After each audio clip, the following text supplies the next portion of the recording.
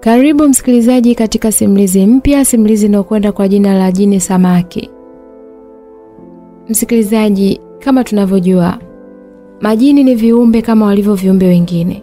Kama ulikuwa hujui, wanakula na wanashiriki mapenzi kama viumbe wengine tu, kitu ambacho huwezi kuamini majini kushiriki tendo la ndoa hata na binadamu. Hivi uliwahi kusikia kwamba mtu ana jini mahaba? Bila shaka umewahi kusikia. Ndiyo, ni jini ambaye anajihusisha na mapenzi na binadamu bila yeye mwenyewe kujua. Wakati mwingine majini hawa huvunja hata ndoa za watu, na hii hutokana na jini kumpenda sana mhusika. tena hawana nidhamu kabisa, kwani kuna wakati ushiriki mapenzi na mwanamke au mume wa mtu. Hawa ni viumbe wa ajabu sana. Basi karibu msikilizaji, tuanze simulizi yetu. Hello brother, uko poa? Njema tu mzazi, niambie. Ah, safi tu. Kuna jipya? Hakuna kaka. Uko nyumbani? Ya, niende wapi? Sina nyendo kaka. Oh, okay. Sikia basi, tunaweza kwenda ufukwe kupunga upepo wa bahari. Si unajua tena joto la bongo tena ukizingatia leo ni wikendi. Hakuna noma kaka. Kwa hiyo tunafanyaje? Ah, nisubiri hapa home. Nakuja sasa hivi. Basi sawa. Nikamjibu, hii ni simu niliyopigiwa na mshikaji wangu Diki. Namwelewa sana kijana huyo, naweza kusema ni mtu wangu wa karibu sana, ni mwanangu mwenyewe kabisa. Siku zote alipo yeye na mimi nipo, hata mtaani hutuita mapacha tusiofanana. Ni kutokana tu na ule ukaribu wetu. Basi muda mfupi baadaye rafiki yangu Diki alitinga magetoni. Kwa kweli siku hiyo sikuwa kabisa na mpango wowote wa kutoka nyumbani, lakini kwa kuwa mshikaji wangu alitaka tutoke, basi nikaona sio kesi nikaamua kuungana naye. Mzee mzima nikaamua kutupia vitu vyangu makini, tayari kwa kuelekea maeneo husika. Kipindi hiko nilikuwa naishi maeneo ya Tandale kwa tumbo, hivyo tukaamua kwenda katika ufuko wa Kokobichi. Mara baada ya kufika pande zile, tulikutana na watoto wakali sana. Wengi wao walikuwa wanamilikiwa na watu wao.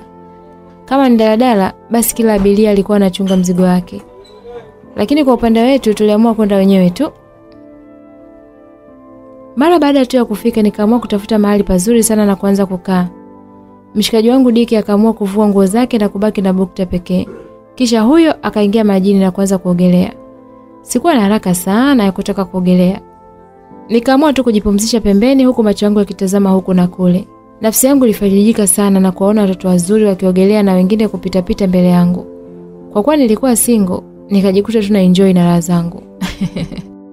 Nikiwa sina hili wala lile, mara akapita mtoto mmoja mkali sana. Ni piskali ya maana kwelikweli, sio siri. Yule binti alinishika pabaya, msikilizaji.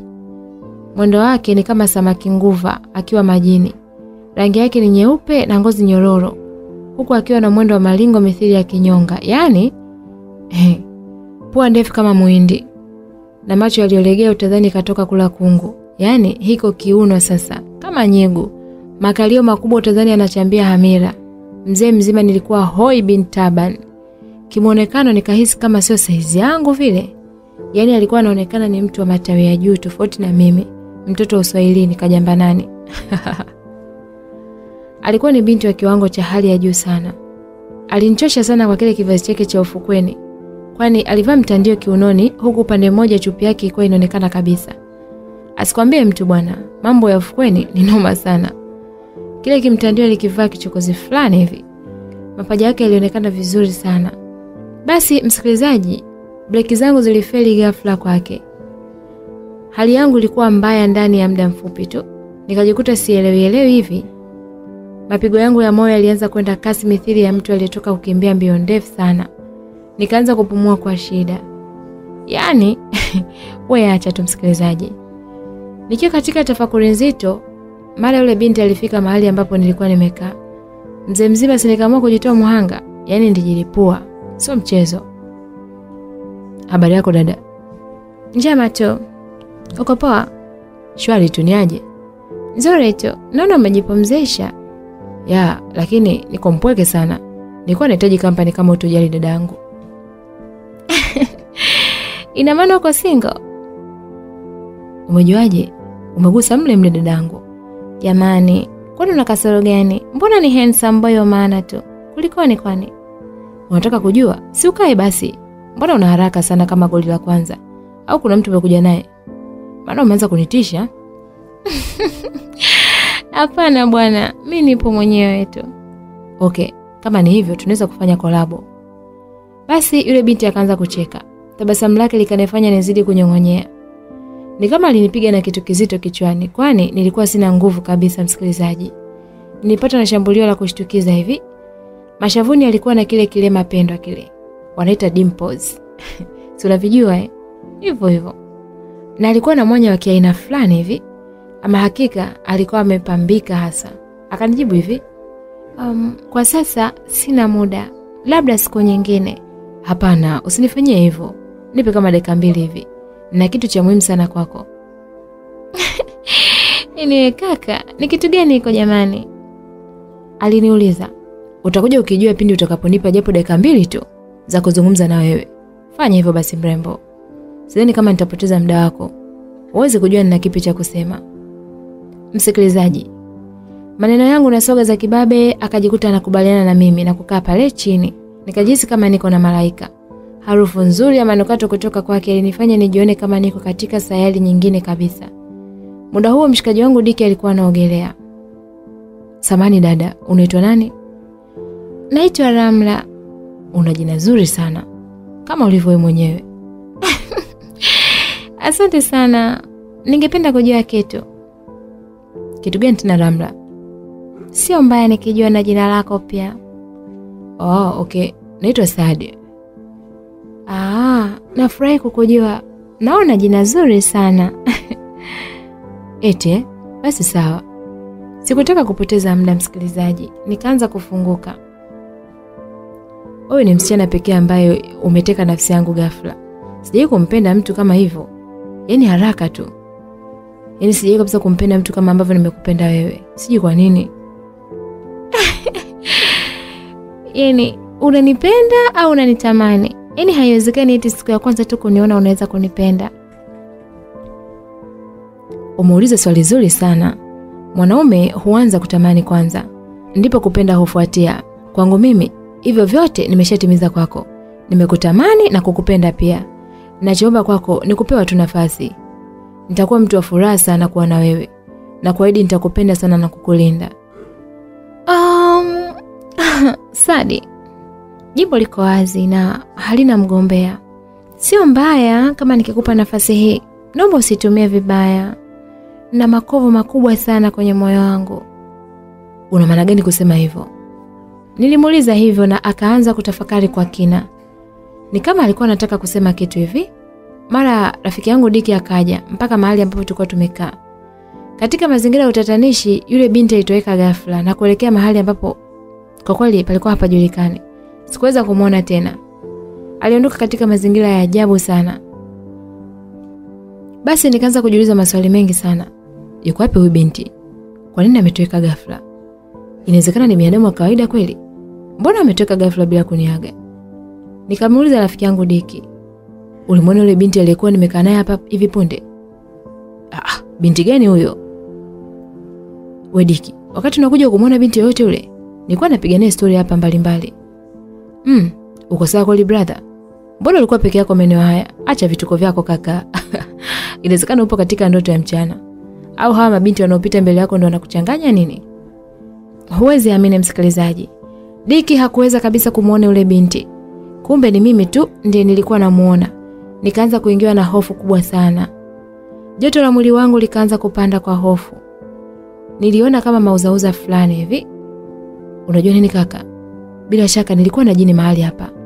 Yaani alikuwa ni binti mrembo sana. Niliongea naye vitu vingi sana. Unajua nashindwa kabisa kuelewa. Hivi ni kweli? Niujize maswali yasiokuwa na majibu. Pole sana mzee wa Totos, nakujua vizuri sana. Waga upiti na kitu. Kama kawaida yako. Mzee wa kutunukiwa, tuachane na hayo. Twende tukaogelee kaka. Hiki ndicho kilichotuleta huku bwana, na wala sio vitu vingine. Mshikaji wangu Diki alikuwa analeta masiara yake. Alikuwa haamini kabisa kama nimepatwa na jambo. Ilikuwa ni ngumu sana kwake kuamini. Wakati nikiwa na ile piskali, hatua kadhaa alikuwepo kijana mmoja hivi na demu wake. Nao walikuwa wanapata upepo wa bahari. Kwa imani yangu niliamini kabisa kwamba hata wao walimuona yule binti. Nikaenda kumuuliza. Habari yako bro? Njema, tuniambie. Hivi punde nilikuwa na manzi mmoja hivi makini sana hapo. Bila shaka hata nyinyi mlimuona. Huwezi amini, ametuweka katika mazingira ya utatanishi sana. Hivi mmemwona wakati anaondoka? Maana nashindwa kabisa kuelewa.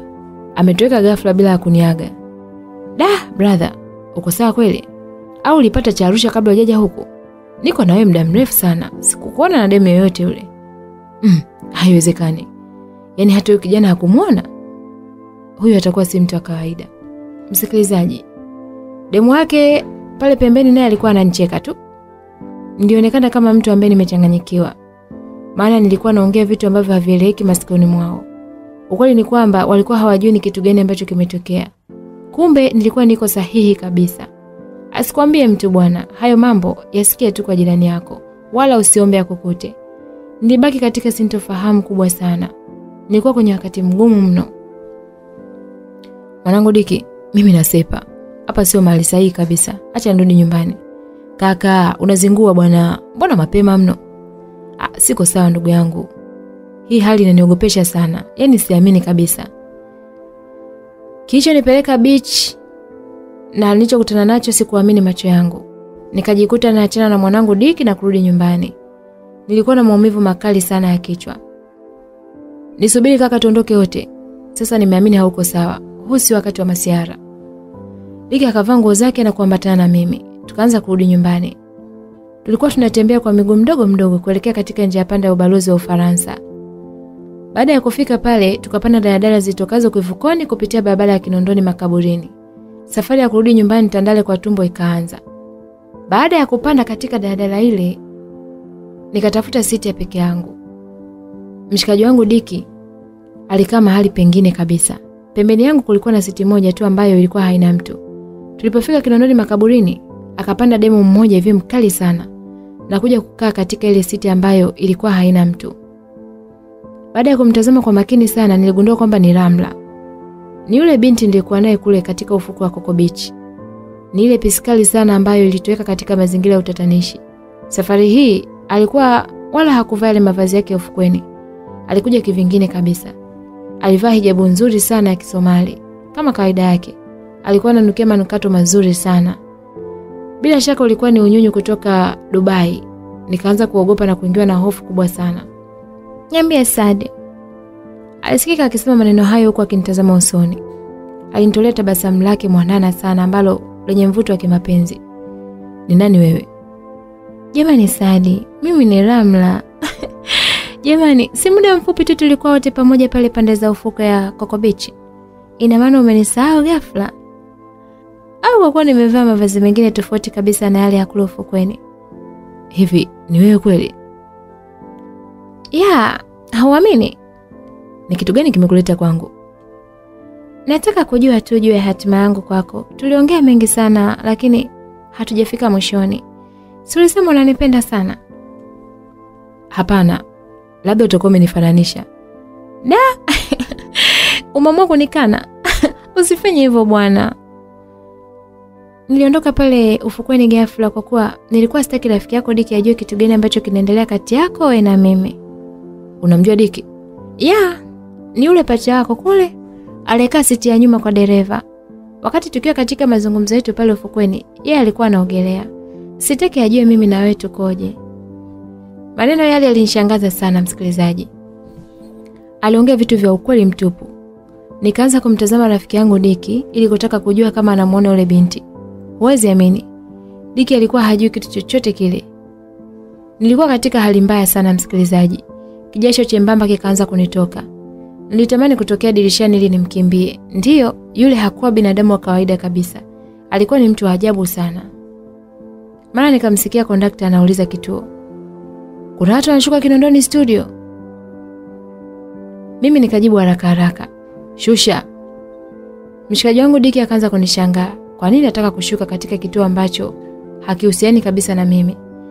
Nia na madhumuni yetu ilikuwa ni kutaka kushukia Kinondoni mwisho, njia ya panda ya kwenda hospitali ya Mwananyamala. Kisha tupite njia ya mkato wa Mwananyamala CCM pale. Kuna boda moja linatokea Tandale kwa tumbo. Inakuwaje mwanangu? Mbona unashukia hapo? Diki aliniuliza swali huku akinishangaa mimi. Sikutaka kabisa kumjibu. Mara nikajikuta niko mlangoni na kutaka kushuka mahali pale. Nilipotazama mahali ambapo nilikuwa nimekaa, sikumwona tena yule binti wa ajabu. Inawezekana yeye ameshuka. Nilijiuliza hivyo, huwezi amini. Nikarudi tena garini na kumwambia rafiki yangu Diki kwamba unaweza kwenda kukaa mahali pale ambapo nilitoka mimi ili nikae hapa kwako na manangu. Kwa nini iwe hivyo? Diki aliniuliza swali. Wewe acha tu kaka. Nilikuwa naye muda si mrefu. Sijui ananitaka nini huyu binti. Ni nani huyo kaka? Mbona nashindwa kuelewa? Kwani siku ya leo una nini? Muda huo daladala ilikuwa imesimama. Oya, mwanangu unazingua. Unashukia hapa unaendelea na safari. Nataka kujua. Haya yalikuwa ni maneno ya kondakta. Mara abiria wengine walidakia na kusema ovyo. dereva, endesha gari bwana. Huyu jamaa ajielewi kabisa. Haya ndo madhara ya kuvuta bangi kabla ya kula. Umeona kichomkuta? Waliongea kitu ambacho hawakijui kabisa. Walinihukumu bila ya makosa. Laiti kama wangejua, wasingeongea maneno yale. Wangenionea huruma sana. Mshikaji wangu Diki akaamua kunipisha katika siti yake na kwenda kukaa mahali ambapo nilikuwa nimekaa mimi. Safari ikaendelea huku nikiwa na hofu kubwa sana. Yule binti wa ajabu aitwaye Ramla sikumwona tena katika ile gari. Nilikosa amani kabisa. Nilikuwa sina utulivu. Mara tukafika katika kituo ambacho tulikusudia kushuka. Nikashuka garini haraka sana huku nikiwa na mihemko ya kufa mtu. Mara baada ya kushuka tu sikuamini kabisa nilichokutana nacho. Yaani wewe acha tu msikilizaji. Nilikutana na Ramla akiwa pale kituoni anatusubiria kwa hamu kubwa sana. Nilishtuka vibaya sana kiasi cha rafiki yangu Diki kuhisi kitu. Maana nilipata mshangao mkubwa sana. Niambie kaka, umeona nini? Aliniuliza Diki. Nilitamani kumwambia ukweli, lakini Ramla aliweka kidole chake kimoja mdomoni kuashiria kwamba nikae kimya. Yaani nisiseme chochote kile kuhusiana na yeye. Ibaki tu kwa siri yetu kati yangu mimi na yeye. Nikaanza kuzuga ili rafiki yangu Diki asijue chochote. Ha, hakuna kitu kaka. Bado nina mawenge tu.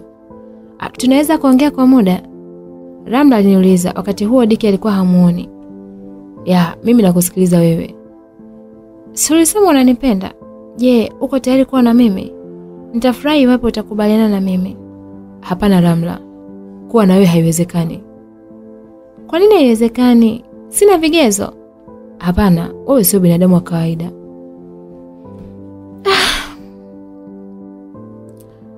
Inawezekana ni kweli Sadi, lakini nina haki ya kupenda na wewe ndio chaguo langu. Mazungumzo haya alikuwa hayasikii kabisa rafiki yangu Diki. Tulikuwa tunasikilizana tu, mimi na binti wa ajabu sana aitwaye Ramla. Siko tayari kabisa kuwa na wewe. Umeanza kuniogopesha mapema sana. Sijui itakuwaje. Usiwe na shaka, huu ni mwanzo tu. Nina imani utafikia wakati utanizoea tu. Hujue mwenzio nakupenda sana. Nipe nafasi mpenzi. Alipomaliza tu kusema maneno hayo akatoweka ghafla. Nikabaki nimedua Diki mwanangu, tuenzetu nyumbani. Mdogo mdogo tukaanza kurudi nyumbani. Nilikuwa na mawazo mengi sana kichwani. Muda mwingi sana nilikuwa namfikiria yeye. Kimwonekano alikuwa ni binti mrembo sana. Tatizo ni yale matukio yake ya ajabu ajabu. Ni binti ambaye kila mwanaume rijali alitamani kuwa naye. Nilifika nyumbani nikiwa nimechoka sana. Si kwamba nilikuwa nimetoka kufanya kazi ngumu, la hasha. Nilikuwa nimechoka na yale matukio ya ajabu ajabu ya yule binti Ramla. Ulifika wakati wa rafiki yangu Diki kutaka kujua ni kitu gani ambacho kimenisibu. Akaanza kunifanyia mahojiano. Akaanza kuniuliza maswali mbalimbali mbali. Kwanza kabisa alitaka kujua ni kitu gani kilitokea kule Beach. Na mimi nikaanza kumsimulia mkasa mzima kuanzia mwanzo mpaka mwisho. Kiukweli sikutaka kumficha kitu chochote kile kwa kuwa ni mtu wangu wa karibu sana. Ni kama ndugu yangu. Unasema kweli kaka? Ya, huwezi amini. Alikuwa ni binti mrembo sana aitwaye Ramla. Nimeongea naye mambo mengi sana. Mwanzoni alionyesha kama hayuko tayari kuwa na mimi. Lakini baada ya kumpa somo la kutosha alinielewa. Tukiwa katika mazungumzo yetu, si wewe ndo katokea? Naam, ikawaje sasa? Akatoweka ghafla katika mazingira ya utatanishi, sikuweza kumwona tena. Da, pole sana kaka. Huyu sio mtu wa kawaida kabisa. Inawezekana ni jini. Mm, acha kunitisha kaka. Unajua majini sio wazuri. usiniombe mabaya ndugu yangu. Ramla hakutaka kabisa nimwambie mtu kuhusu tukio hili. Alitaka niwe msiri sana. Kutokana na ukaribu wetu kati yangu mimi na mshikaji wangu Diki, nikaamua tu kumweleza ukweli ili ajue ukweli wa mambo. Sikutaka kabisa kumficha kwani ni rafiki yangu mkubwa. Usijali kaka, haya ni mapito tu. Ninaamini kwamba hawezi kukutokea tena kwa mara nyingine. Diki akaamua kunifariji na kunipa moyo. Baada ya mazungumzo ya muda mrefu, basi Diki akaga na kurudi nyumbani kwake. Muda huo ilikuwa kama saa mbili hivi za usiku, na mimi nikaamua kupanda kitandani na kulala. Nilikuwa nimechoka sana, sikutaka kabisa kuangalia ile filamu ambayo naipenda sana ambayo inaitwa Bondita. Haikunichukua muda mrefu sana, mara nikapitiwa na usingizi mzito sana. Ilipofika saa saba za usiku, nikajikuta kama niko ndotoni. Nilimwona yule msichana aitwaye Ramla, alikuwa akinijia huku akiwa mavazi ya nusu uchi. Kutokana na uzuri wake, nikajikuta namsimamisha. Naam, mjomba Thumani huko chini bwana, aliumuka utadhani alikuwa kawekewa amira. Naambie mpenzi, leo nimekuja kwako kwa kazi maalum. Nataka tufanye mapenzi usiku kucha. Wakati anaongea maneno hayo, alikuwa juu ya kifua changu. Chuchu zake zilisimama kama miba ya mchongoma, zikaanza kunichoma fulani hivi. Hisia za mapenzi zikanijia, mwili mzima ukaanza kusesemka, vinyweleo vilisimama, utadhani nimetoka kutazama picha la kutisha. Akaanza kunishikashika kifuani. Jamani sad jamani Saadi, ina maana hujisikii kuwa na mimi au sina mvuto wa mapenzi kwako? Hapana Ramla, nakupenda sana yani. Na mimi nikajikuta najibu mashambulizi, nikaanza kumchojoa lile kufuri lake ama nguo ya ndani ama chupu. Nikaingiza vidole vyangu katika ile bambuchi yake na kushikashika kile kisi chake kile ambacho kilisimama kama harage bichi. Ramla akaanza kulalamika. Ah, oh, ya jamani Sad, ongeza kasi kidogo, najisikia raha. Na mimi nikazidi kuongeza ufundi wangu. Nilikuwa kama fundi Maiko akiwa kazini. Sinaga kazi mbovu nikiwa katika kipindi kile mimi Sadi. Nikaanza kumpelekea moto kwa kunyonya kile kinini chake. Akaanza kutoa miguno ya ajabu ajabu, utadhani mtoto mchanga ama ndege kasuku. Sauti yake nyororo ikanifanya nizidi kupata hisia za mapenzi. Ghafla akachukua mkono wake na kuingiza katika ile bokta yangu. Akaanza kumshikashika mjomba Athumani wangu huku akilalamika sana. Msikilizaji, uzalendo ulinishinda bwana. Nikaamua kuvua ile bukta yangu na kutaka kumchapa nao. Subiri kwanza, ngoja kwanza ninyonye. Akachukua mdomo wake na kuingiza mashine yangu ambayo imesimama barabara na kuanza kunyonya. Mzee mzima nilikuwa hoi bin taban. Nikaanza kunyonganyonga miguu yangu mithili ya mtu anayeendesha baisikeli. Asikwambie mtu bwana. Nilikuwa najisikia raha kupita kiasi. Hali yangu ilikuwa mbaya sana. Nikaamua kuchukua mashine yangu na kuingiza kunako ile bambuchi yake. Nikaanza kusukumia kwa ndani. Akaanza kunikatikia miuno utadhani mwali wa Kimakonde. Nikazidi kumpelekea moto. Alikuwa analalamika sana utadhani ile ilikuwa ni siku yake ya kwanza kufanya mapenzi. Hali hii ikanipelekea mimi kujiamini zaidi. Nikaamua kuongeza kasi. Dakika mbili mbele mzee mzima nikaanza kumwaga. Ndiyo, zikaanza kutoka kwa kasi ya ajabu. Kwa kweli nilijisikia raha kupita maelezo. Ghafla nikashtuka kutoka usingizini. Nilistajabu sana baada ya kujikuta niko na nguo zangu, lakini bukta yangu ilichafuka vibaya sana. Nikaanza kujiuliza, hii ndoto ina maana gani? Kwa nini mwote Ramla? Nilibaki katika sintofahamu kubwa sana.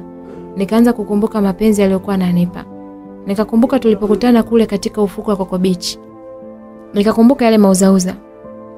Nikajikuta nampenda sana. Nilitamani kama ingekuwa kweli. Nikatoka kitandani na kuvua ile bukta yangu. Kisha nikapanda tena kitandani na kulala.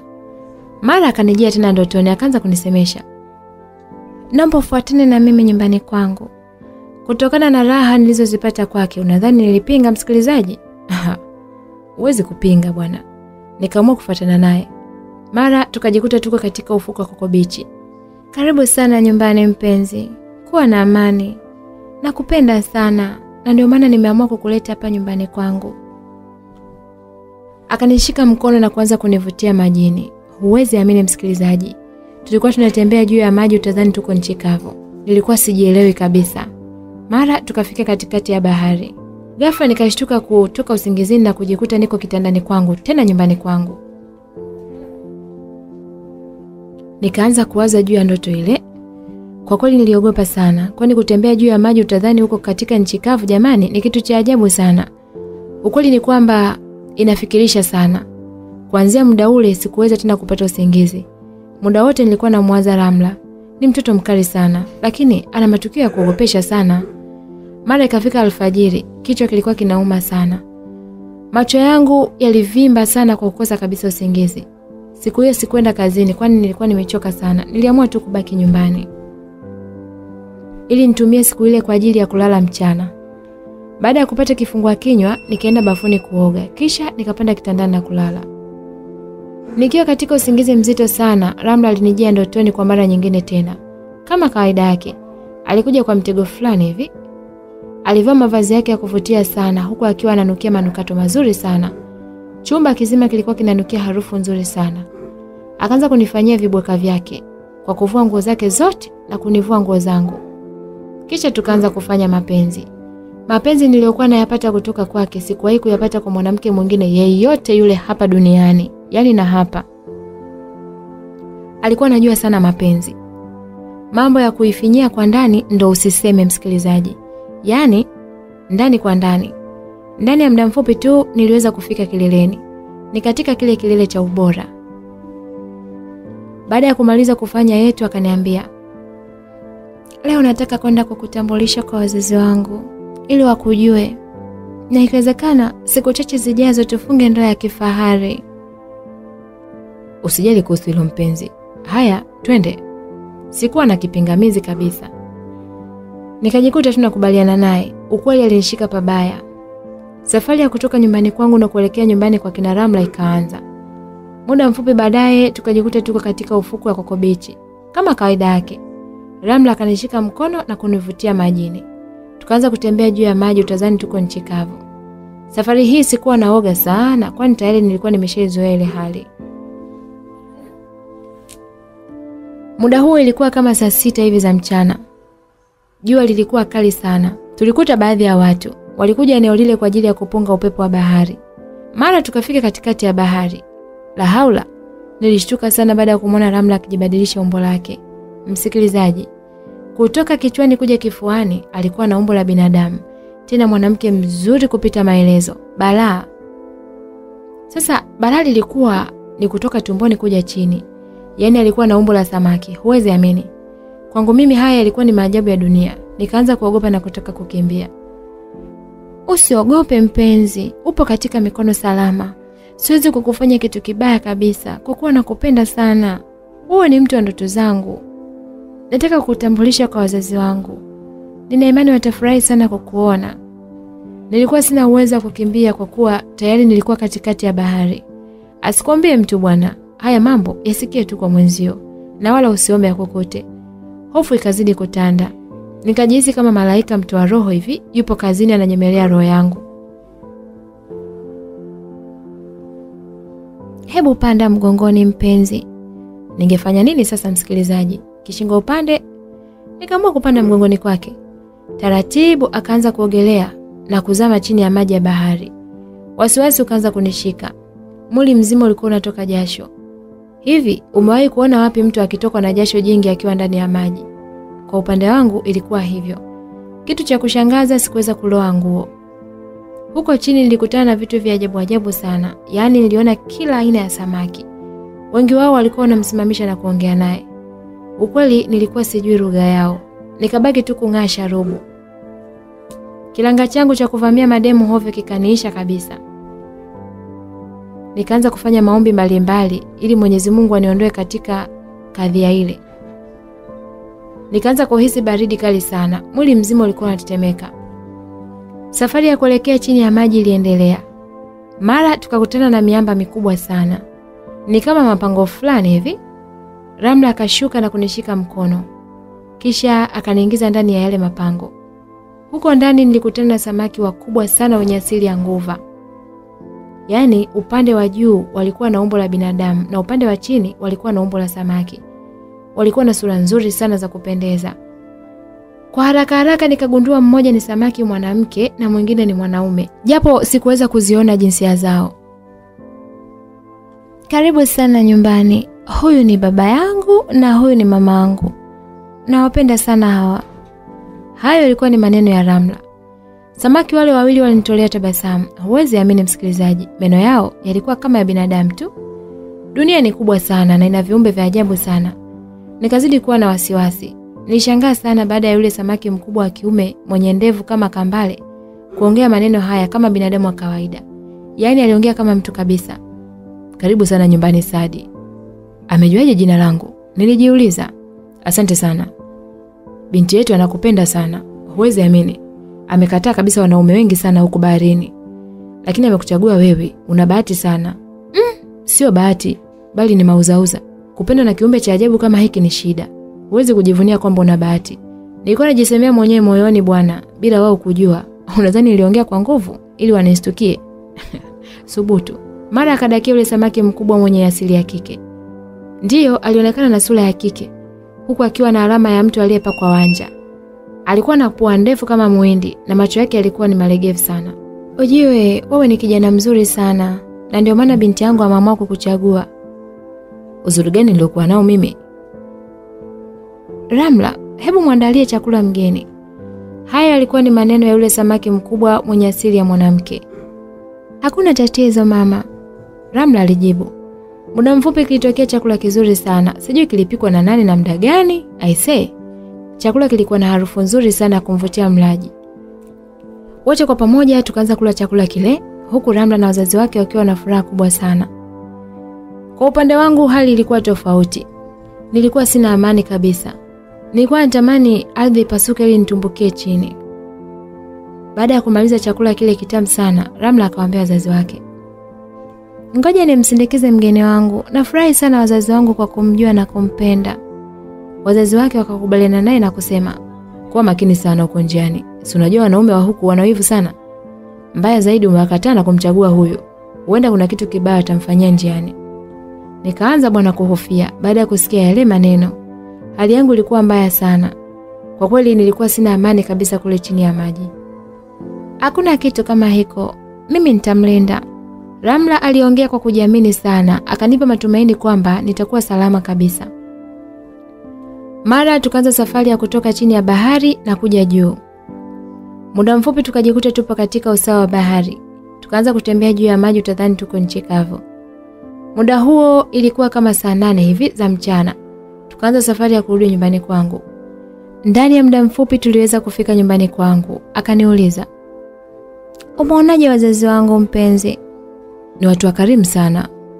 Okay, nafurahi kusikia hivyo. Muda si mrefu tutafunga ndoa ya fahari kubwa sana baharini. Unasemaje wewe? Ni hivyo, ujue nakupenda sana. Ghafla akayeyuka na kusepa zake. Muda ule ule nikashtuka kutoka usingizini na kujikuta niko kitandani peke yangu. Bukta yangu ilikuwa imechafuka sana kwa mbele. Baada ya kufanya uchunguzi, nikagundua kwamba ule ulikuwa ni uchafu wa manii. Mzee mzima nilikuwa nimetoka kupiga bao mchana kweupe huku nikiwa ndotoni. Nikaanza kukumbuka matukio yote mbalimbali mbali ambayo yalikuwa yanatokea ambapo nikiwa ndotoni. Nilikuwa nimechoka sana, utadhani nilitoka kufanya mapenzi na mwanamke kwa siku nzima. Yaani, wewe acha tu msikilizaji. Hii ndoto ina maana gani? Na kwa nini mote Ramla nikiwa nafanya naye mapenzi? Nilijiuliza maswali mengi sana kichwani mwangu yasiokuwa na majibu. Nikiwa katika tafakuri nzito, mara rafiki yangu Diki alinipigia simu, nikaamua tu kuipokea haraka. Halo, inakuwaje kaka? Njema tu, niambie. Freshi, mbona leo hujaja kazini? Oya, acha tu kaka, yaani nashindwa kuelewa. Kwa nini kaka? Kwa nini unashindwa kuelewa? Ah, iko hivi, unaweza kuja nyumbani mara moja? Kuna kitu hivi kinanitatiza, nataka kukuambia. Usijali kaka, niko njiani nakuja. Baada ya kuchoshwa sana na visa vya Ramla, nikapanga kumwambia rafiki yangu Diki. Baada ya muda mfupi tu, rafiki yangu Diki alifika nyumbani kwangu. Alinikuta nina mawazo mengi sana kichwani. Nilionekana kama nina msongo wa mawazo. Akaamua kuniuliza swali.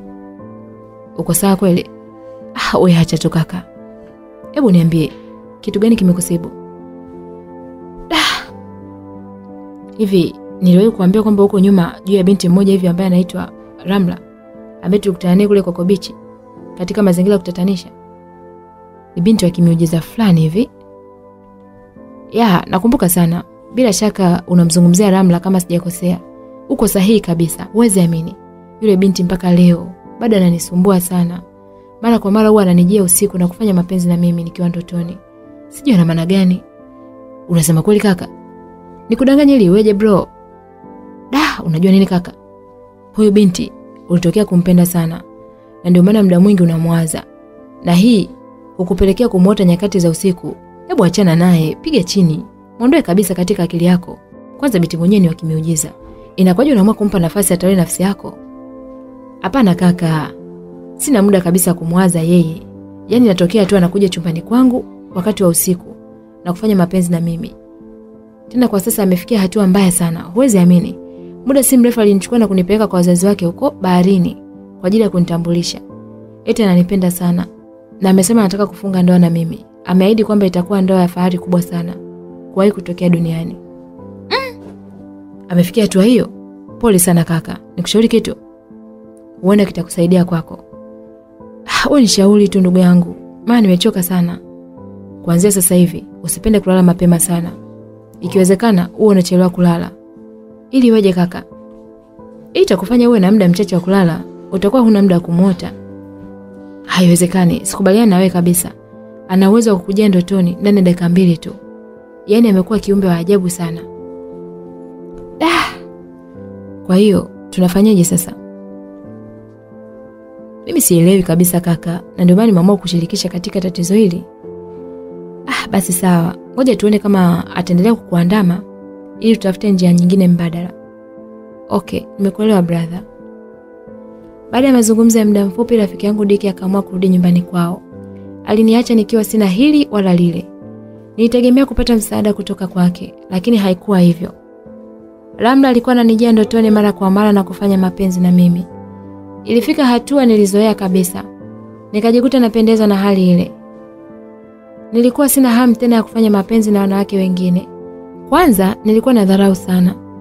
Nilikuwa nawaona kama takataka vile. Imani yangu ilinifanya niamini kwamba hakuna mwanamke mzuri na anayejua mapenzi zaidi ya Ramla. Nilitokea kumpenda sana. Japo alikuwa ananijia ndotoni. Miaka ilizidi kusonga huku nikijihusisha na kimapenzi na binti wa ajabu Ramla. Wakati fulani pale mtaani kwetu kulikuwa na binti mmoja hivi ambaye ni tishio sana kwa uzuri. Yaani kila mwanaume rijali alitamani kuwa naye. Lakini binti yule sasa alikuwa na majivuno sana. Ilikuwa ni pisikali sana ya kibabe. Kitu cha kushangaza, mimi nilikuwa namuona tu mtu wa kawaida sana. Yaani alikuwa hana hata maajabu yoyote yale. Binti huyo alikuwa anaitwa Beatrice. Alikuwa maarufu sana pale mtaani kwetu. Ilifika hatua rafiki yangu Diki aliamua kumtokea. Akamuuliza ukweli juu ya hisia zake kwake. Yule binti akamuuliza maswali. Wewe ndiye uliyenitaka au rafiki yako? Ni mimi. Kwa nini umeuliza hivyo? Kama ni wewe haiwezekani. Labda angekuwa rafiki yako yule, ningemkubalia. Nampenda sana. Kwa kuwa ni mtu mstaarabu sana hapa mtaani kwetu. Kwanza hana skendo zozote, sio mtu wa mademu. Namjua siku nyingi sana. Ni kweli uyasemayo, lakini sidhani kama yeye anakufikiria. Sijawahi kumsikia kabisa akizungumzia kuhusu wewe hata siku moja. Si unajua tena, kila shetani na mbuyu wake. Inawezekana na mtu mwingine ambaye amempa moyo wake. Okay, inawezekana hivyo, lakini nampenda sana. Hapa mtaani ni yeye tu naweza nikamkabidhi nafasi yangu na sio mtu mwingine. Yaani nilikuwa ni mtu wa kisimati sana mtaani. Sijui ni kwa nini. Na huu ndio ulikuwa mwanzo wa kuitwa jina la mzee wa kutunukiwa. Unadhani jina hili lilikuja tu hivi hivi? Hapana. Siku moja rafiki yangu Diki alikuja nyumbani na kuniambia kila kitu juu ya yule binti Beatrice. Hivi, unajua ile piskali ya mtaa? Nani huyo? Namzungumzia Beatrice. Ah. Unazingua kaka. Mbona hana maajabu? Mimi namuona kawaida sana. Unasema kweli kaka? Acha dharau bwana. Yule binti anasumbua wanaume wengi sana hapa mtaani. Kwanza yuko vizuri kinoma. Hakuna kitu kama iko mbele ya demu wangu Ramla. Yeye anasubiri sana. Yaani mweupe tu. Nikacheka sana. Ni kweli Beatrice alikuwa ni demu mmoja makini sana. Lakini kwangu mimi nilikuwa namuona hana mvuto wowote ule. Na sio yeye tu. Mademu wengi pale mtaani nilikuwa na wadharau sana. Nilikuwa simtamani mwanamke mwingine zaidi ya binti wa ajabu Ramla. Sijui alinipa nini. Rafiki yangu Diki akaniambia ni jinsi gani Beatrice anaumia juu yangu. Nilimjibu tena kwa dharau kubwa tu. Hana hadhi ya kuwa na mtu kama mimi. Da, hivi mshikaji wangu, jeuri unaipata wapi? Yaani demu mkali kazimika mwenyewe, alafu namtosa? Hii bahati ningeipata mimi. Hata siku moja niliwahi kukutana na Beatrice njiani. Tena siku hiyo tulikuwa mtu mbili tu. Alitumia nafasi ile katika kunitega. Alidhani nitaingia katika mtego wake. Akaanza kujichekesha pale. Huwezi amini, mzee mzima nilikuwa kimya kabisa, utadhani nilikunywa gundi. Alishindwa kunielewa kabisa. Nilimsikia akimwambia rafiki yake ambaye walikuwa wanaongozana pamoja. Alisikika akisema, "Huyu kaka anajiona sana. Sijui kwa nini." Eti mimi najiona. Kumbe wala alikuwa hajui anayenipa jeuri hii ni mtoto mkali Ramla. Usiku wa siku ile, Ramla aliingia tena ndotoni. Safari hii alikuja na kubwa kuliko siku zote. Siku hii ndo nilimjua Ramla sio mwanamke wa kawaida. Kama kawaida yake, alikuja nyumbani usiku wa manane na kunipeleka mpaka baharini. Nilichokutana nacho huko, kama ungekuwa wewe, sijui ingekuwaje. Jamani ye, haya mambo yasikie tu kwa mwenzio na wala usiombe yakukute. Nilikutana na kundi kubwa la samaki wa kila aina. Walikuwa na kikao cha dharura. Walikuwa wananijadili mimi. Mara baada ya kufika pale, kiongozi mkuu wa samaki alisikika akisema, "Kijana, umeamua kwenda kinyume na utaratibu? Binti yetu alikwambia kitu gani?" Nikaanza kushangaa. Hili lilikuwa ni swali gumu sana kwangu. Yaani nilishindwa kuelewa nijibu nini. Kiongozi yule aliniuliza tena swali. Safari hii aliongea kwa hasira. Nikaanza kuwa na hofu. Mwili mzima ulikuwa unatetemeka yani. Samaki mkuu, kwani nimefanya nini? Binti yetu alikwambia mapenzi yenu yawe ya siri. Kwa nini umeamua kumwambia rafiki yako? Unataka watu wajue sisi ni akina nani? Hapana, sina maana hiyo. Kumbe ilikuwaje sasa? Useme. Nibaki kimya kabisa nikimtazama usoni. Kuanzia leo utakuwa unaishi huku huku baharini. Hautakuwa tena uraiani. Utaishi maisha kama tunavyoishi sisi. Umeelewa? Hapana mkuu. Hili halitawezekana. Kama nimekosea, naomba unisamee. Niko chini ya miguu yako. Na hapa sitorudia tena. Mara nyingi nikitoa kauli huwa sitengui. Ina maana sisi tunaoishi huku ni wajinga? Si umempenda binti yangu? Ni kitu gani kinakufanya ushindwe kuishi huku? Utake usitake utaishi huku. Sina maneno mengine. Kulizuka taharuki kubwa sana huko chini ya bahari. Nilikuwa kwenye wakati mgumu mno. Ramla alikuwa ananiangalia. Alionekana kuchukizwa sana na mimi kuitoa siri ile kubwa ambayo aliniambia nisiseme kwa mtu yoyote yule, hata kama na ukaribu naye. Baada ya kuomba msamaha kwa muda mrefu sana, Ramla aliingilia kati na kusema maneno haya. Bila shaka atakuwa ameelewa. Nina imani hatarudia tena. Naomba umsamehe sana. Maneno yale alimwambia baba yake. Ni kama nilisamehewa vile. Kwani baada ya kusema maneno hayo tulibaki watu wawili tu, yaani mimi na Ramla. Nikaanza kushangaa. Kichwa kikaanza kuuma sana. Macho yangu yalikuwa mekundu tadhani nimetoka kupuliza moto wa kuni. Kwa unyonge sana nikaamua kumuuliza Ramla. Kwa nini unanifanyia hivi Ramla? Na kufanyia hivi kwa kuwa nakupenda sana. Hakuna kitu ambacho kinanikera kama mtu mwingine kujua juu ya uhusiano wetu wa mapenzi. Siku zote wote hawapendi kutuona tukiwa katika haya mahaba mazito. Na mimi sitaki kuona hivyo. Kwani nimekupata kwa shida sana. Nimekolewa mpenzi. Binafsi nitafanya siri. Muda si mrefu tulikuwa na watu wengi hapa. Wameenda wapi? Nataka kujua. Achana na hayo mpenzi. Haya ndio maisha yetu ya siku zote. Usitake kujua kila kitu. Basi sawa. Sina la kuoje juu ya hili mpenzi. ok tunaweza kurudi nyumbani. Na usingizi sana. Twende tukalale mpenzi. Ramla aliongea maneno haya huku akinishika mkono wangu. Ghafla tukajikuta tupo juu ya maji. Tukaanza kutembea juu ya maji utadhani tuko nchi kavu.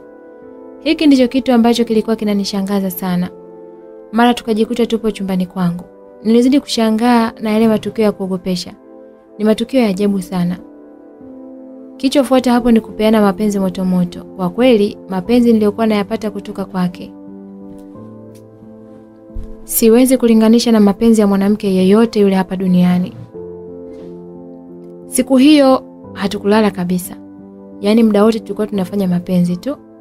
Ilipofika saa kumi na moja alfajiri, Ramla alinaga na kuondoka. Muda ule ule nikashtuka kutoka usingizini. Da, kumbe nilikuwa ndotoni. Nitaishi maisha haya mpaka lini? Ina maana huyu Ramla ndio ameamua kunitesa kiasi hiki? Ni kweli nampenda, nafurahi sana kuwa naye. Lakini huyu si binti wa kawaida. Nilikuwa na mawazo kama yote, kama kawaida. Nilipojitizama huku chini, tayari nilikuwa nimeshachafua boksa yangu. Maisha yangu yalikuwa ya kusikitisha sana. Siku zote nilikuwa nafanya mapenzi na Ramla huku nikiwa ndotoni. kitu kilichonifanya nizidi kuwachukia wanawake, yaani kila mwanamke aliye mzuri huko mtaani nilimwona takataka. Nilitamani kuambia watu, lakini nilikuwa naogopa. Nikiendelea kuishi kwa staili ile ya maisha kwa muda mrefu sana, huko mtaani watu wakaanza kunijadili, hususan wanawake. Nina mashaka na huyu kaka, inawezekana jogo yake hawiki au jogoo hapandi mtungi, haiwezekani asiwe na demu mtaani.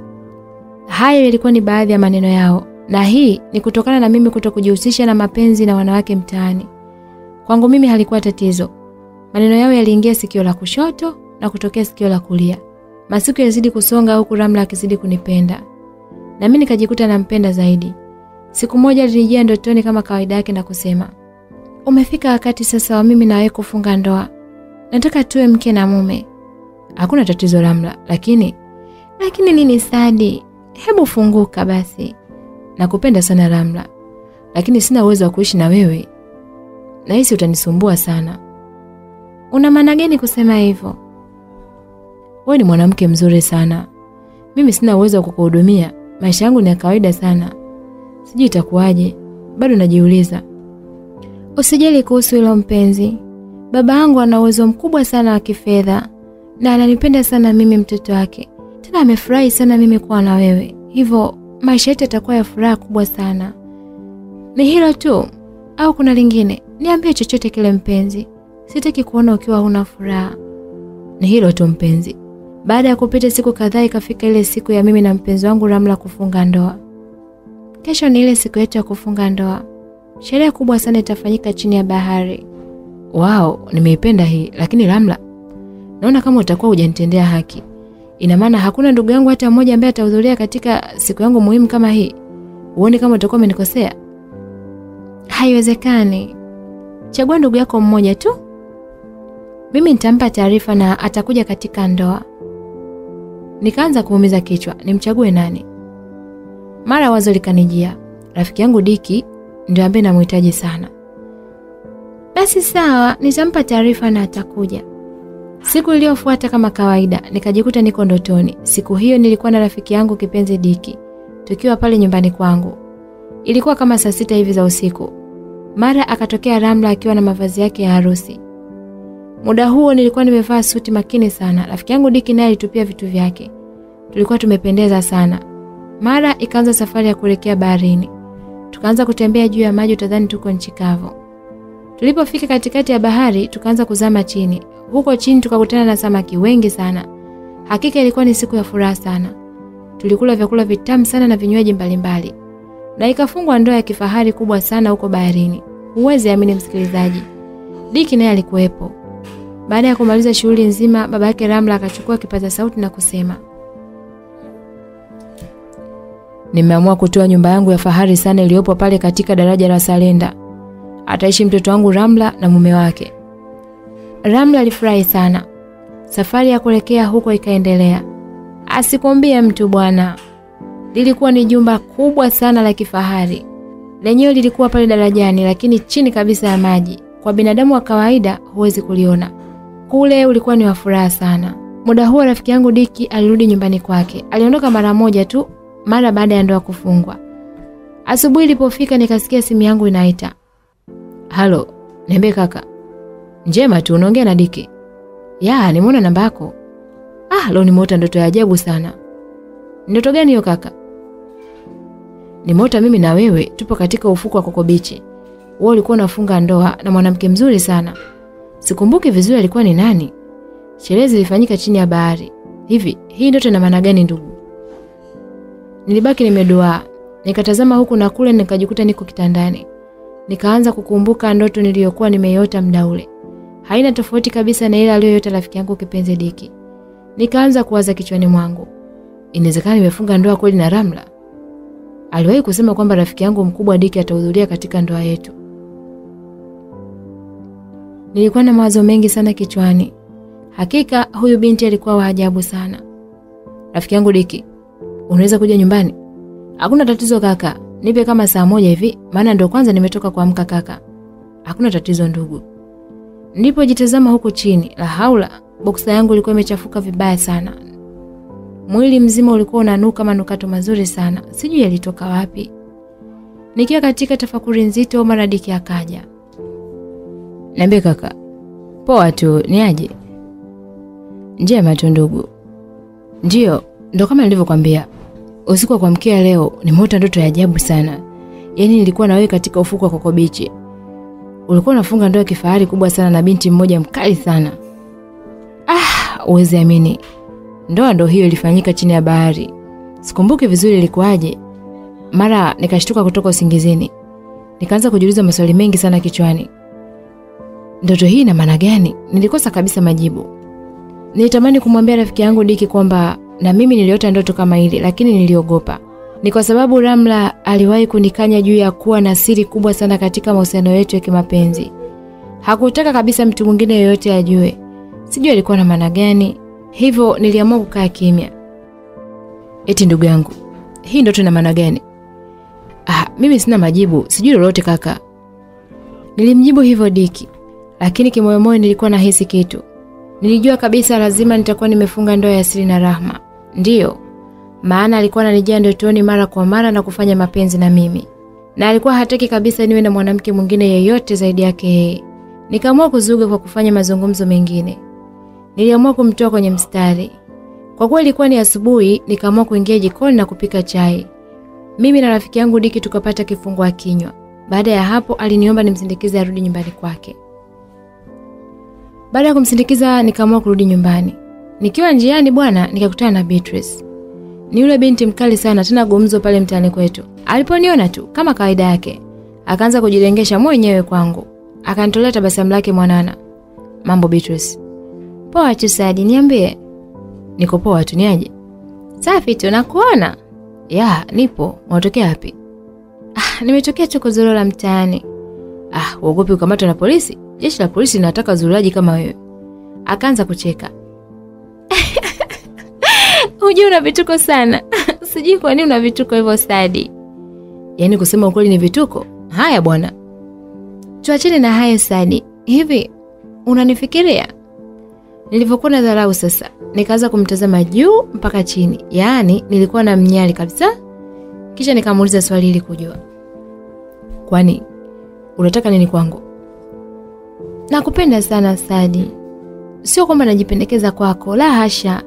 Wanaume wengi sana huko mtaani wananitaka sana kimapenzi, lakini sijui ni kwa nini sitaki kuwakubalia. Nafsi yangu yote ya mapenzi ipo kwako. Kwa kweli umenishika pabaya. Nikamtazama usoni. Ni demu mmoja hivi makini sana, sikuwa na kasoro. Ni binti aliyekamilika kila idara. Nikaanza kumwonea huruma. Niliwaza juu ya mapenzi yangu kwa Ramla. Nikafikiria jinsi anavyonijia ndotoni. Nikajikuta natamani kuwa na mahusiano ya kimapenzi na binadamu mwenzangu. Ndiyo, maana Ramla alikuwa sio mwanamke wa kawaida kabisa. Ni binti wa ajabu sana. Baada ya kutafakari kwa kina, nikaamua kumwambia ukweli wa mambo Piskali Beatrice. Sikutaka anione kama nalinga sana. Nikamwambia, napenda sana kuwa na wewe, lakini naogopa. Jamani Sadi, unaogopa nini? Mi niko mwenyewe tu, sina mwanaume mwingine. Beatrice akadakia kwa kusema hivyo. Alidhani naogopa kuhusu hilo, kumbe mwenzie nilikuwa namwogopa binti wa ajabu Ramla. Ni binti mwenye mauzauza fulani hivi. Nipe namba yako ya simu, nitakupigia. Bila kupoteza muda alinipa namba yake, kisha akanibusu shavuni na kuondoka. Mwili mzima ukaanza kusisimka ese. Na nilivyokuwa bwege sasa katika yale mambo, singejikuta naanza kumuelewa bwana. Nikatoka pale kwa furaha sana. Nikiwa njiani nikawa namwaza yeye tu. Sijui nimpe nafasi, Ramla akijua itakuwaje. Nilibaki katika sintofahamu kubwa sana. Nilipofika nyumbani nikaamua kumpigia. Halo, niambie Beatrice. Poa tu Saidi, mambo? Ah, niko poa tu. Kesho tunaweza kuonana? Bila shaka, hata ungesema leo niko tayari. Basi sawa, naomba tuonane kesho. Da, unaweza kunidokeza kidogo? Usijali, lakini kuna taarifa njema tu. Nataka kukufanyia surprise fulani hivi. Nina imani kwamba utafurahi. Naomba uniote mimi usiku wa leo. Do, yani nimefurahi wewe, acha tu. Nimefurahi sana. Asante sana Sadi. Pale pale nikakata simu. Huko upande wa pili sasa. Sija anataka kunifanyia surprise gani? Alijiuliza maswali mengi sana kichwani binti wa watu. Siku iliyofuata nikampigia simu na kumwambia tukutane mahali fulani pazuri sana. Hakufanya ajizi, naye alikuja mahali pale kwa wakati kabisa. Tulikuwa katika baa moja maarufu sana maeneo ya Tandale, inaitwa Mbokomu. Bila shaka wenyeji wa mitaa hii wanaijua vizuri sana. Ni baa moja yenye huduma nzuri sana. Ndani yake kuna nyumba ya wageni yenye hadhi. Tukaanza kufanya mazungumzo yetu. Baada ya kutafakari kwa kina, nimeona ni bora niwe na wewe Beatrice. Samahani sana kwa usumbufu mkubwa na jeuri ambao nilikuonyesha. Usijali Sadi, kuwa na wewe ilikuwa ni ndoto yangu tu ya siku nyingi sana. Unajua siamini. Naomba uniamini. Kuanzia leo na ukabidhi nafsi yangu, wewe nifanye utakavyo wewe. Huwezi amini, Beatrice alifurahi kupita maelezo. Nikaamua tu kumuita mhudumu. Ah, samani kaka, tunaweza kupata chumba? Ya, ni kwa malipo elfu kumi tu. Okay, hii hapa, tupatie chumba kizuri sana. Mhudumu alifanya kama tulivyomwambia. Mhudumu alifanya kama tulivyomwambia. Mdogo mdogo tukaanza kuingia ndani. Tulikuwa tumeshikana mikono, utadhani tuko katika mahusiano ya kimapenzi kwa muda mrefu. Kumbe ile ndio ilikuwa mara yetu ya kwanza kabisa. Tulipofika chumbani, nikaanza kuwa na hofu. Mwili mzima uliishiwa na nguvu. Nikajikuta sina kabisa hamu ya kufanya mapenzi. Nikaanza kujiuliza maswali mengi. Kwa nini wewe hivi? Ama kwa upande wa Beatrice alikuwa na furaha sana. Yaani alichangamka utadhani mchuzi uliotiwa ndimu. Alikuwa na mshamsha. Akafunga mlango wa chumba kile haraka sana na kunisukumia kitandani. Bila kupoteza muda akaanza kunivua nguo zangu. Mpaka kufikia hatua hii, mjomba Athumani huko chini alikuwa amenywea tu msikilizaji. Ile haikuwa kawaida yangu kabisa. Kitu ndani ya boksi, lakini mimi nilikuwa hoi bin taban hata kabla ya tendo lenyewe. Nikaanza kuona aibu. Nilishindwa kabisa kuonyesha ushirikiano kwake. Kijasho chembamba kikaanza kunitoka huku feni zikiwa zinafanya kazi. Sijui ilikuwaje. Jamani Sadi, una nini? Mbona hivyo? Nilikuwa kimya kabisa, nilikosa jibu la kumpa. Beatrice akafanya kila linalowezekana kuamsha hisia zangu, lakini wapi. Mjomba Athumani huko chini bwana alilegea utadhani nyama mbichi. Kwangu mimi ilikuwa ni aibu ya mwaka. Sikuwahi kutokewa na hali hii siku zote za maisha yangu. Ile ndio ilikuwa mara yangu ya kwanza. Kwa kweli nilijisikia vibaya sana. Ndani ya nusu saa tuko chumbani huku nikiwa katika wakati mgumu mno. Niliumia sana moyoni. Yaani siku ya kwanza kukutana na piskali ya kitaa, halafu mambo yanaenda kinyume. Msikilizaji, nilijikuta na bubujiko na machozi kwa kweli. Sasa nimeamini kwa nini ulikuwa utaki kuwa na mimi. Kumbe ni mdhaifu wa mambo haya. Nilikuwa nakuona unalinga, kumbe nilikuwa nakusemea tu vibaya. Pole sana Sadi. Ni muda gani sasa una tatizo hili? Nakuonea huruma. Nilishindwa kabisa kumjibu. Niliumia sana. Sikiliza Beatrice. Hii hali imenitokea ghafla. Sijui ni kwa nini, lakini naomba unifichie siri. Usijali kuhusu hilo. Nakupenda sana Asadi. Muda huo Beatrice alikuwa uchi wa mnyama. Kwa jinsi alivyokuwa amejazia, nikajikuta nakula kwa macho. Mtoto ana kalio la kutosha, chuchu konzi, midomo ya kunyonya denda. Akachukua nguo zake na kuanza kuvaa, kisha akatoka ndani na kusepa zake. Nilibaki mdomo wazi kama kinda la njiwa. Yaani acha tu. Nikajibwaga kitandani huku nikiwa na mawazo mengi sana kichwani. Nilijisikia vibaya sana huku chini. Ume wangu ulisinyaa kama wa mtoto mdogo. Yaani asikwambie mtu. Da, hii ni aibu kubwa sana. Sijui Beatrice atanichukuliaje. Ni dharau kubwa sana kwangu. Nikaanza kusonya sonya na kulalamika mwenyewe pale kitandani. Nikaanza kumshikashika mjomba Thumani lakini wapi. Muda huo mtoto mkali Beatrice alikuwa ameshatoweka katika eneo la tukio. Aliniacha nikiwa nimechanganyikiwa vibaya sana mle ndani. Mawazo yalikuwa yamenitawala vya kutosha. Mara nikajikuta napitiwa na usingizi mkali sana. Katika mazingira ya utatanishi, Ramla akanijia ndotoni. Alinikuta nikiwa nimelala katika kile kitanda katika nyumba ya wageni huku nikiwa uchi wa mnyama kabisa. Aliniuliza tu swali. Kwa nini uko hapa? Kabla sijamjibu nikashtuka kutoka usingizini. Nikajikuta niko mwenyewe tu pale kitandani huku nikiwa uchi wa mnyama. Ume wangu bado ulikuwa umesinyaa. Nikaanza kukumbuka. Da, ina maana bado niko kuchumbani. Nafanya nini sasa? Sipo tu nirudi nyumbani. Nikanyanyuka kutoka kitandani na kuvaa nguo. Sikutaka tena kuoga. Nioge kwani nimefanya nini sasa? Na ili iweje? Mdogo mdogo nikaanza kusepa. Njiani nilikuwa na mawazo mengi sana. Kutoka katika ile nyumba ya wageni ya Mbukomu na nyumbani kwangu sio mbali sana. Nikaanza kuliunga mkono azimio la Arusha kwa kutembea kwa mguu. Kutokana na msongo wa mawazo, nikajikuta napitiliza kabisa nyumbani kwangu. Kuja kushtuka bwana, nikajikuta Manzese kwa bibi Nyau. Wakati nilikuwa naishi Tandale kwa tumbo. Nikaanza kurudi tena nyuma. Moja kwa moja nikafika chumbani kwangu. Nilikuwa sina amani kabisa siku hiyo. Nilikuwa naomba ardhi ipasuke. Nilikuwa naomba ardhi ipasuke ili nitumbukie chini. Maana siku aibu ile. Nikaamua kulala mazima baada ya kupiga sana usingizi. Nikaamua kulala mazima. Baada ya kupiga sana usingizi, nikajikuta naamka kwenye muda kama wa saa mbili za usiku. Nikaamua kutoka nje ili kwenda kutafuta msosi, maana nilikuwa sijisikii kabisa kupika. Huko upande wa pili nako, Beatrice alienda kwa rafiki yake kipenzi sana anaitwa Paula. Akaenda kumpa ubuyu juu ya tatizo zima lililonitokea. Mara baada ya kufika nyumbani kwao, akamweleza kila kitu kuhusu mimi na yeye. Nikwambie kitu shoga yangu? Niambie shosti. Leo nilikuwa na yule handsome boy wa mtaa. Ehe, unamzungumzia Sadi? Kumbe nani? Kuna mwingine hapa mtaani? Ehe, hebu nipe ubuyu shogangu yani wewe acha tu. Kumbe hana maajabu yoyote yale. Jogo yake hapandi mtungi shoga. Acha bwana. Yaani kujishaua kote kule. Kweli nimeamini, kizuri hakikosi kasoro. Hujue siamini. Mwenyezi Mungu hakupi kila kitu.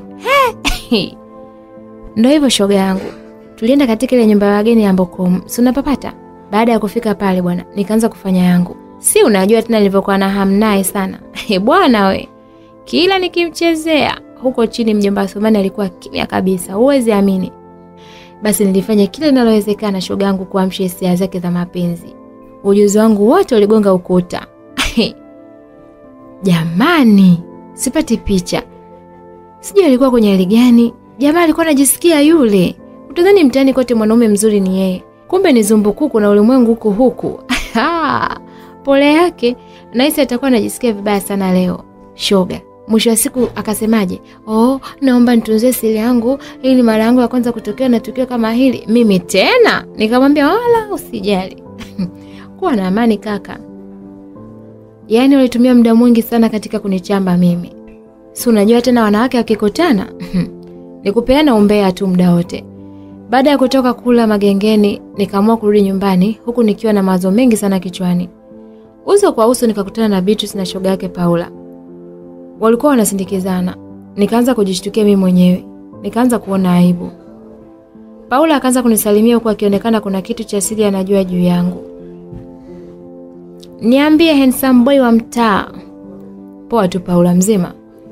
Ndio kama unavyoniona, niko na Beatrice hapa. Nawaona kama kawaida yenu. Beatrice alikuwa kimya kabisa akiniangalia kwa wiziwizi. Hakutaka kusema kitu chochote kile. Nikaachana nao na kuondoka zangu. Nilimwona Paulo anaongea huku akionyesha kidole. Nilijua kabisa kila kitu kiko wazi. Nikajikuta kama nimepigwa na kitu kizito kichwani. Nikaingia chumbani kwangu na kulala. Ilinichukua muda mrefu sana kupata usingizi kwa kuwa nilikuwa na mawazo mengi sana. Baada ya kuwaza kwa muda mrefu, nikajikuta napitiwa na usingizi. Nilisahau mpaka kutega chandarua. Yaani nilikuwa nimechanganyikiwa sana. Muda mfupi baadaye Ramla alinijia ndotoni kama kawaida yake. Alinikuta nikiwa nimelala. Habari yako Sadi? Njema tu Ramla. Uko sawa kweli? Mbona sijakuzoea kukuona ukiwa hivyo? Yaani una tofauti kubwa sana. Hapana Ramla, mbona niko sawa kabisa. Haya, wewe nifiche tu. Nitajua kila kitu muda si mrefu. Si unajua vizuri sana eh? Si unanijua? Nikaanza kuingiwa na hofu. Nikahisi huenda amegundua kitu kutoka kwangu. Bila kupoteza muda akaanza kunivua nguo zangu. Huwezi amini. Muda ule ule ume wangu ulisimama ghafla. Ni tofauti kabisa na kule katika nyumba ya wageni. Nikajikuta nina nguvu za kutosha. Nilikuwa nina hamu sana ya kufanya mapenzi. Mara tukajikuta tupo katika penzi zito sana kama sio huba. Nilikuwa na nguvu za kutosha sana. Nilishiriki vyema kabisa katika tendo la ndoa. Ramla alifurahi sana na sio Ramla tu, hata mimi mwenyewe nilijisikia furaha sana. Baada ya kumaliza kufanya mapenzi na Ramla, ghafla nikashtuka kutoka usingizini na kujikuta nipo kitandani peke yangu, huku bukta yangu ikiwa imechafuka vibaya sana huko mbele. Kinyonge sana, nikaanza kuwaza kichwani mwangu na kujiuliza maswali mbalimbali. Kwa nini nikiwa ndotoni nashiriki vyema sana tendo la ndoa tofauti na ninapokuwa na mwanamke wa kweli? Ni kitu gani huwa kinanitokea? Yaani nashindwa kuelewa kabisa. Nilibaki kitandani kwa muda mrefu sana huku nikiwaza. Kisha nikatoka kitandani na kuvua ile bukta yangu na kuvaa nyingine. Kisha nikapanda kitandani na kulala. Safari hii sikuweza kuota tena mpaka asubuhi ikafika. Niliamka nikiwa mnyonge sana, yaani nilikuwa sina furaha kabisa. Nikatoka ndani na kwenda nje ili kuondoa mawazo kichwani mwangu. Kila nikikutana na msichana anayenijua, alikuwa ananitazama sana kisha anacheka kwa dharau. Na hizi taarifa zangu ziko mtaani. Beatrice ameamua kuniacha uchi. Amenianika aibu yangu juani. Hakika huyu sio binti mwaminifu sana. Yaani hana siri hata kidogo. Da, sijui sura yangu nitaweka wapi. Si nitaweka wapi kiumbe mimi. Kumbe ni kweli. Beatrice aliamua kunitangazia vibaya sana kwa rafiki yake. Mtaa mzima ulijua ni kitu gani ambacho kimetokea kwangu. Nilijisikia vibaya sana. Tangu siku ile nilikuwa sina amani tena. Muda mwingi nilikuwa na mawazo kichwani. Nikaanza kudhoofika mwili na akili. Nilikonda sana, utadhani nilikuwa naumwa. Wakati haya yakiendelea, Ramla hakuacha kunitokea ndotoni kama kawaida yake. Alikuja nyumbani kwangu na kufanya mapenzi na mimi. Wakati mwingine alinichukua na kunipeleka katika lile jumba kubwa la kifahari alilokabidhiwa na baba yake kule katika daraja la Salenda. Jumba hili lilikuwa chini ya bahari. Nikiwa na Ramla ndotoni, nilionekana kuwa na furaha sana, lakini huku mtaani nilikuwa mnyonge sana, yaani nilikuwa sina nyendo. Siku moja Ramla alinijia ndotoni na kusema, nataka kubadilisha maisha yako. Umekuwa mtu muhimu sana kwangu. Kuwa na wewe kumenifanya niishi kwa amani kubwa sana. Nilikaa kimya nikamsikiliza yeye. Mara akaingiza mkono wake katika kibegi chake na kutoa kiasi kikubwa sana cha pesa akanipa. Hii pesa ni nyingi sana. Ukiwa na matumizi mazuri, nina imani kwamba itakutoa kimaisha kabisa. Sikuamini kabisa macho yangu, maana zilikuwa ni pesa nyingi sana. Tangu nizaliwe, msikilizaji, sikuwahi kumiliki pesa nyingi kama zile. Yaani ilikuwa ni mara yangu ya kwanza kabisa. Nikajikuta na furaha sana. Nikaanza kupanga bajeti zangu, mara nikajikuta nashtuka kutoka usingizini. Kumbe nilikuwa ndotoni bwana. Ndoto nyingine bwana. Ndiyo, nitamnunia nani sasa? Nijikuta naanza kucheka mwenyewe. Nikajikuta nazizoea ndoto za ajabu kama zile. Baada ya kupita siku mbili, nikapigiwa simu na namba ngeni kabisa, na mimi nikaamua kuipokea haraka.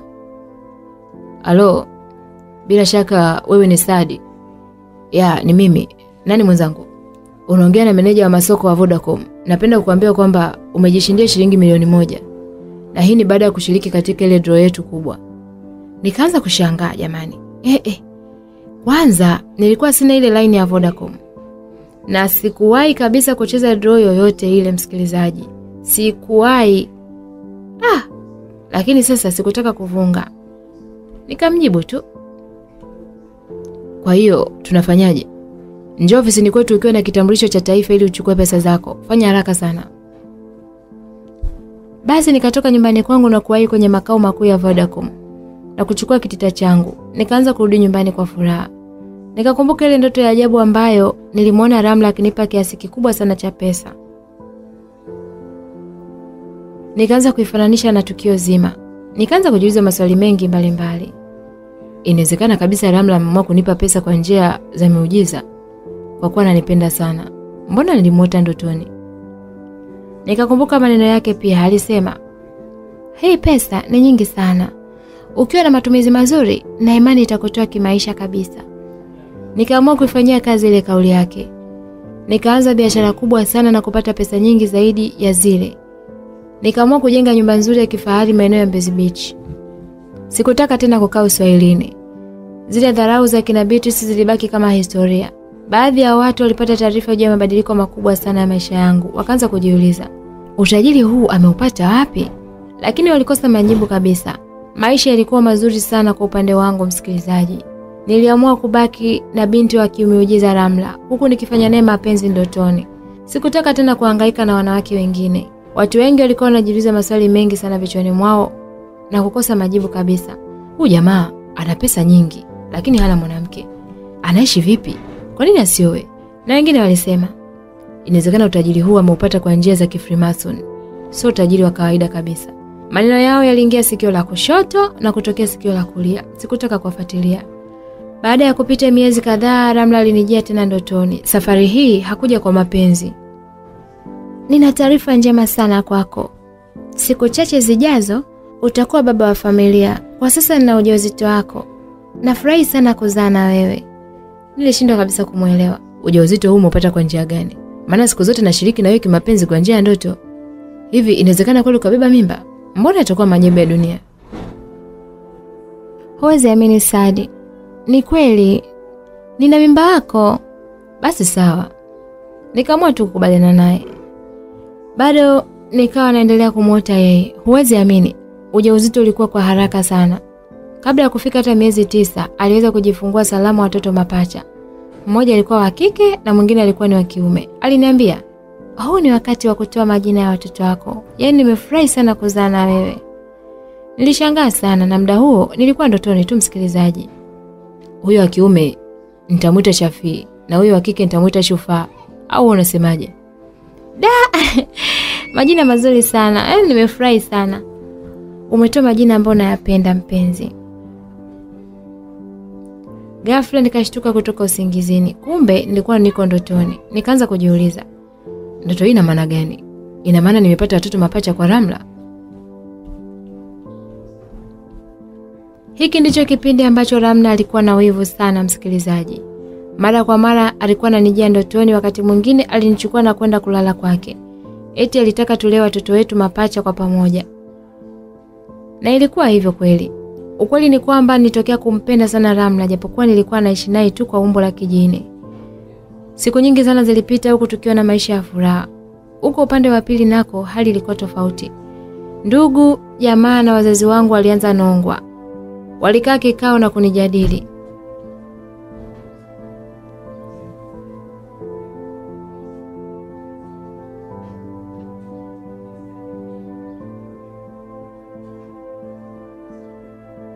Hivi mume wangu, inakuwaje mtoto wetu ana umri ule, pesa za kutosha, alafu eti anaishi bila mke? Ana maana gani? Sisi tunataka kuona wajukuu hapa kabla ya kuondoka hapa duniani. Hata mimi nashangaa mke wangu. Lazima tukae naye kumwambia ukweli kuhusu hili. Haya yalikuwa ni mazungumzo kati ya baba yangu na mama yangu. Ikifika hatua akamshirikisha hata mjomba. Mada ilikuwa ni hiyo hiyo. Mwisho wa siku akanipigia simu. Halo. Ujambo mwanangu? Sijambo tu baba. Habari za huko? Ah, njema tu, habari za mjini? Nzuri tu. Mama wangu na mjomba hawajambo? Nilikuwa nataka kujua. Ni wazima kabisa. Kwa sasa tupo kwenye kikao. Ajenda ya kikao hiki ni kukujadili wewe. Hapo ulipo una kila kitu. Kwa nini utaki kuoa? Baba, ni hilo tu au kuna lingine? Hapana, ni hilo tu mwanangu. Msijali kuhusu hilo wazazi wangu. Muda ukifika mtafurahi wenyewe. Kwa sasa natafuta mwanamke mwenye vigezo vya kuwa na mimi. Unajua nini? Hakuna kitu kibaya kama kukosea kuoa. Mimi sitaki kuja kujuta huko mbeleni. Hivi wewe unataka mwanamke mwenye sifa za aina gani? Yaani wanawake wote hawa hapa duniani unaona hawafai, si ndio? Wewe una lako jambo. Hayo yalikuwa ni maneno ya mama yangu. Alidakia na kusema hivyo huku akiwa anafoka. Nilijaribu kuwaelewesha lakini wapi. Taharuki kubwa sana ilizuka. Kulikuwa na sintofahamu kubwa sana. Nikaamua kuwakatia simu. Ukweli ni kwamba niliwakera sana. Nikajikuta nipo katika wakati mgumu mno, kwani nilikuwa na waheshimu sana wazazi wangu.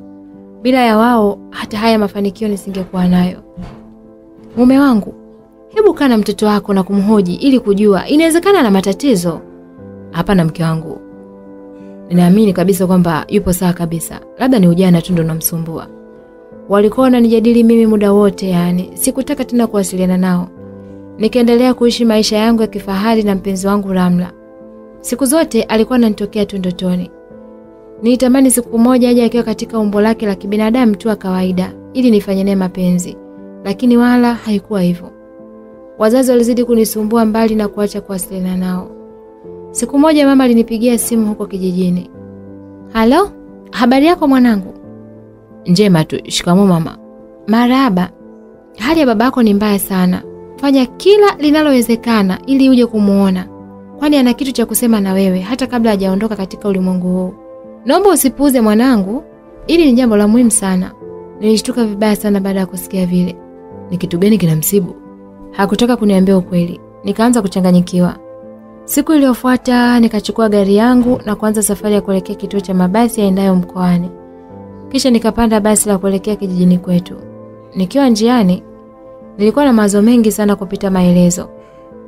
Sijui babangu anaumwa nini hivi, nitamkuta akiwa hai kweli? Maana mama yangu alisema kwamba hali yake ni mbaya kupita kiasi. Niliona kama dereva anachelewesha msafara, nikaamua kumsemea maneno ya hovyo sana. We dereva, hebu acha mambo ya kipuuzi. Unaendesha gari utafikiri unasindikiza harusi. Wewe, wewe nani unasema hivyo? Wanifundisha kazi? Afu ikitokea ajali itakuwaje? Kama una haraka bwana, ungetumia usafiri mwingine. Au tumia taungo bwana ili upae angani. Acha ujinga wako. Wewe vipi? Mpuzi nini wewe? Tukaanza kuzozana na yule dereva wa gari. Hivi, huu jamani mzima kweli? Yaani haraka haraka zake anataka atuletee msala? Kama anaona dereva anaendesha taratibu, ashuke atembee kwa miguu. Acha kutuzingua bwana. Haya yalikuwa ni maneno ya mmoja kati ya abiria wenzangu. Wakaanza kunishambulia bwana. Baada ya mwendo kama wa masaa kadhaa hivi nilifika huko kijijini. Nilishangaa sana baada ya kumkuta baba yangu akiwa na afya njema kabisa. Yaani alikuwa hana ugonjwa wowote. Shikamo baba.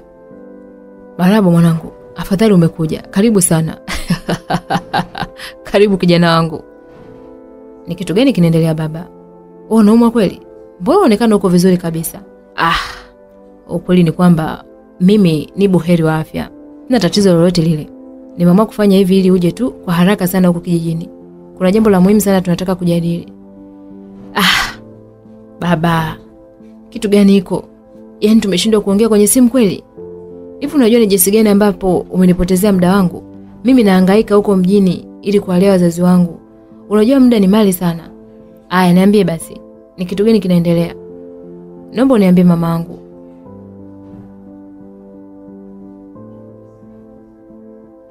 Punguza jazba.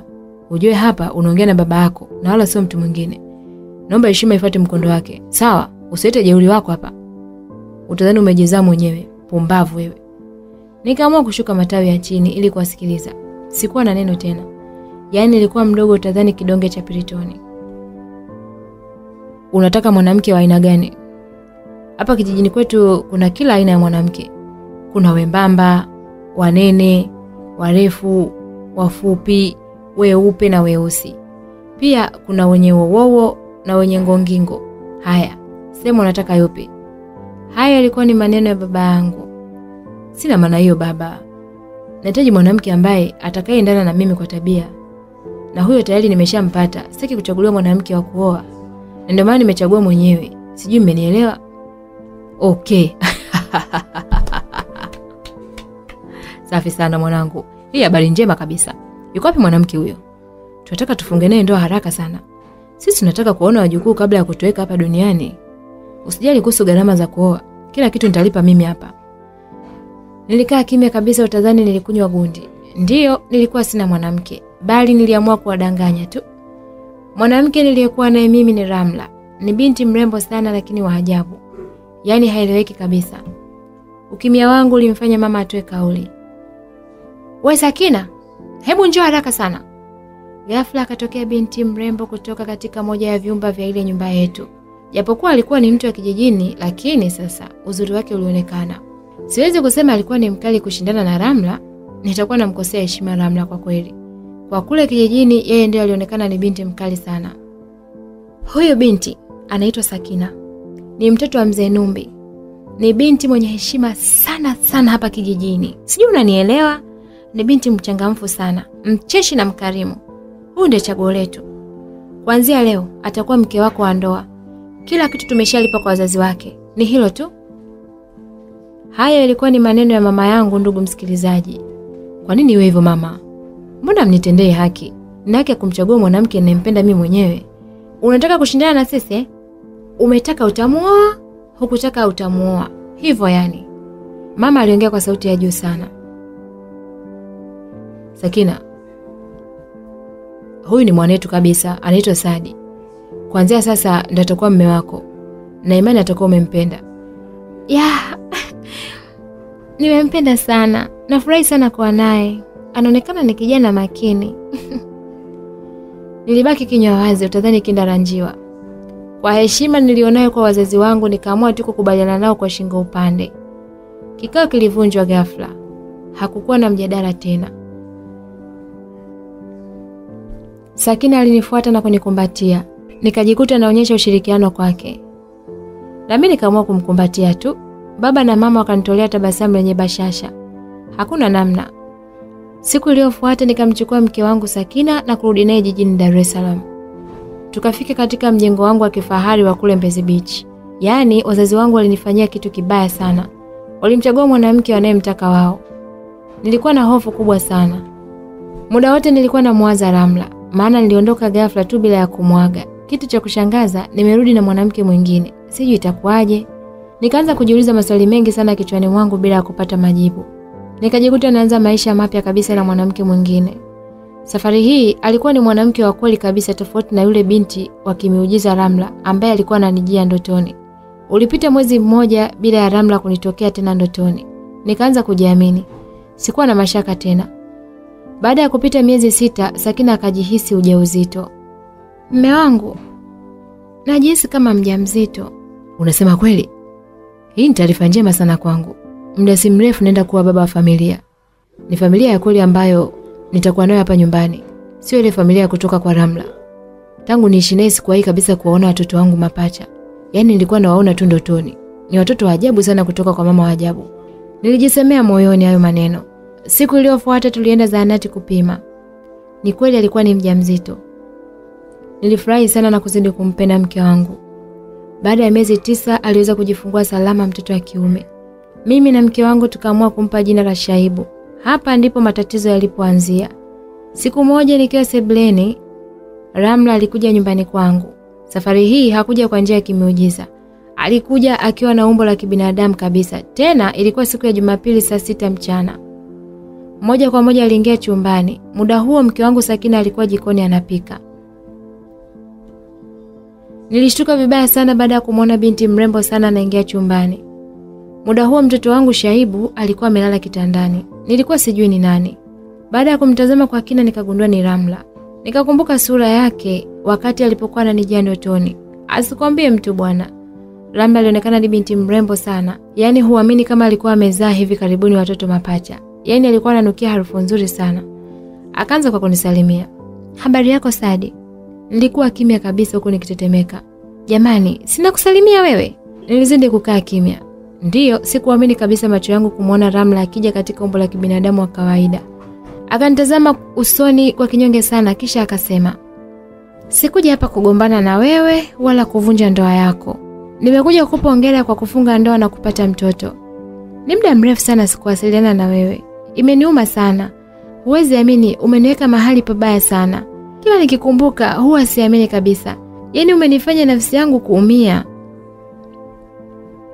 Kipindi hiko alikuwa amesimama mbele yangu huku mimi nikiwa nimekaa kwenye sofa. Ramla aliendelea kusema huku akibubujikwa na machozi. Aliongea kwa hisia kali sana kiasi cha mimi mwenyewe kumwonea huruma sana. Hivi unajua ni kwa kiasi gani ambavyo nilihangaika kukupata wewe? Eti leo huyu umeamua kunisaliti na kuwa mwanamke mwingine. Asante sana kwa hilo. Ni mengi sana mazuri ambayo nimefanya juu yako. Malipo yangu ni usaliti. Yaani hata sijui nisemeje, kwa namna ambavyo umeniachia jeraha kubwa sana moyoni. Kimwonekano huonekani kama ni mtu mbaya, kumbe si mtu mzuri kabisa. Wewe acha tu. Na mimi nikaamua kuongea moyoni. Kosa langu nini? Eh? Kosa langu nini Ramla? Unataka kujua? Ya, naomba uniambie. Okay. Ina maana hujui kama mimi ni mke wako? Hujui kama mimi ni mama wa watoto wako? Ulipoamua kuchukua maamuzi ya kuoa mke mwingine, ulinipa taarifa au kunishirikisha, alafu unajifanya hujui kosa lako. Hivi unajua ni jinsi gani ambavyo nilikuwa nakupenda? Ujui, ujui ni jinsi gani ambavyo nimeumia moyoni. Ujui thamani yangu kwako. Ulitaka nifanye nini kwako ili ujue kama nakupenda? Najua unanipenda sana, ni mengi mazuri sana umenifanyia, lakini kwa nini unanilaumu kwa kitu ambacho sipasi kulaumiwa? Hukutaka kuishi na mimi kama binadamu wenzangu. Siku zote umekuwa unanitokea tu ndotoni. Ulitaka nifanyaje? Nimekuwa sina amani kwako, nimekuwa sina furaha kabisa kwako. Okay, ni kitu gani ulikuwa unakosa kwangu? Nilikukuta ukiwa na maisha ya kawaida sana. Nimefanya kila linalowezekana uishi maisha ya kifahari. Ni kweli mimi sio binadamu wa kawaida, lakini nakupenda sana, na ndio maana sikutaka upate shida maishani. Nisingeweza kuishi na wewe kama binadamu mwenzio. Kama ulikuwa hujui, mimi ni jini samaki ambaye nilikuwa kwako kwa njia ya kibinadamu. Nilitaka kuyafanya maisha yako yawe juu zaidi kuliko hata yalivyo sasa. Ukweli ni kwamba umenikatisha tamaa sana. Laiti kama ningejua huko mbeleni ukanisaliti. Ah. Alipofika hapa hakuendelea tena, akaanza kulia kwa uchungu. Alikuwa anabubujikwa na machozi kama yote. Msikilizaji, ukiona mtu mzima analia ujue kuna jambo. Ramla alikuja kwa umbo la binadamu. Alionekana ni msichana mzuri sana mwenye kila aina ya sifa, na mimi nikajikuta na mwaga machozi, kitu kilichomfanya mke wangu kusikia mazungumzo yetu. Akatoka jikoni na kuja chumbani. Alinishangaa sana baada ya kunikuta nalia kwa uchungu, huku nikiongea na mtu ambaye yeye hakuweza kabisa kumwona. Ni kitu gani kinakuuliza mme wangu? Tena nasikia unaongea na mtu hivi.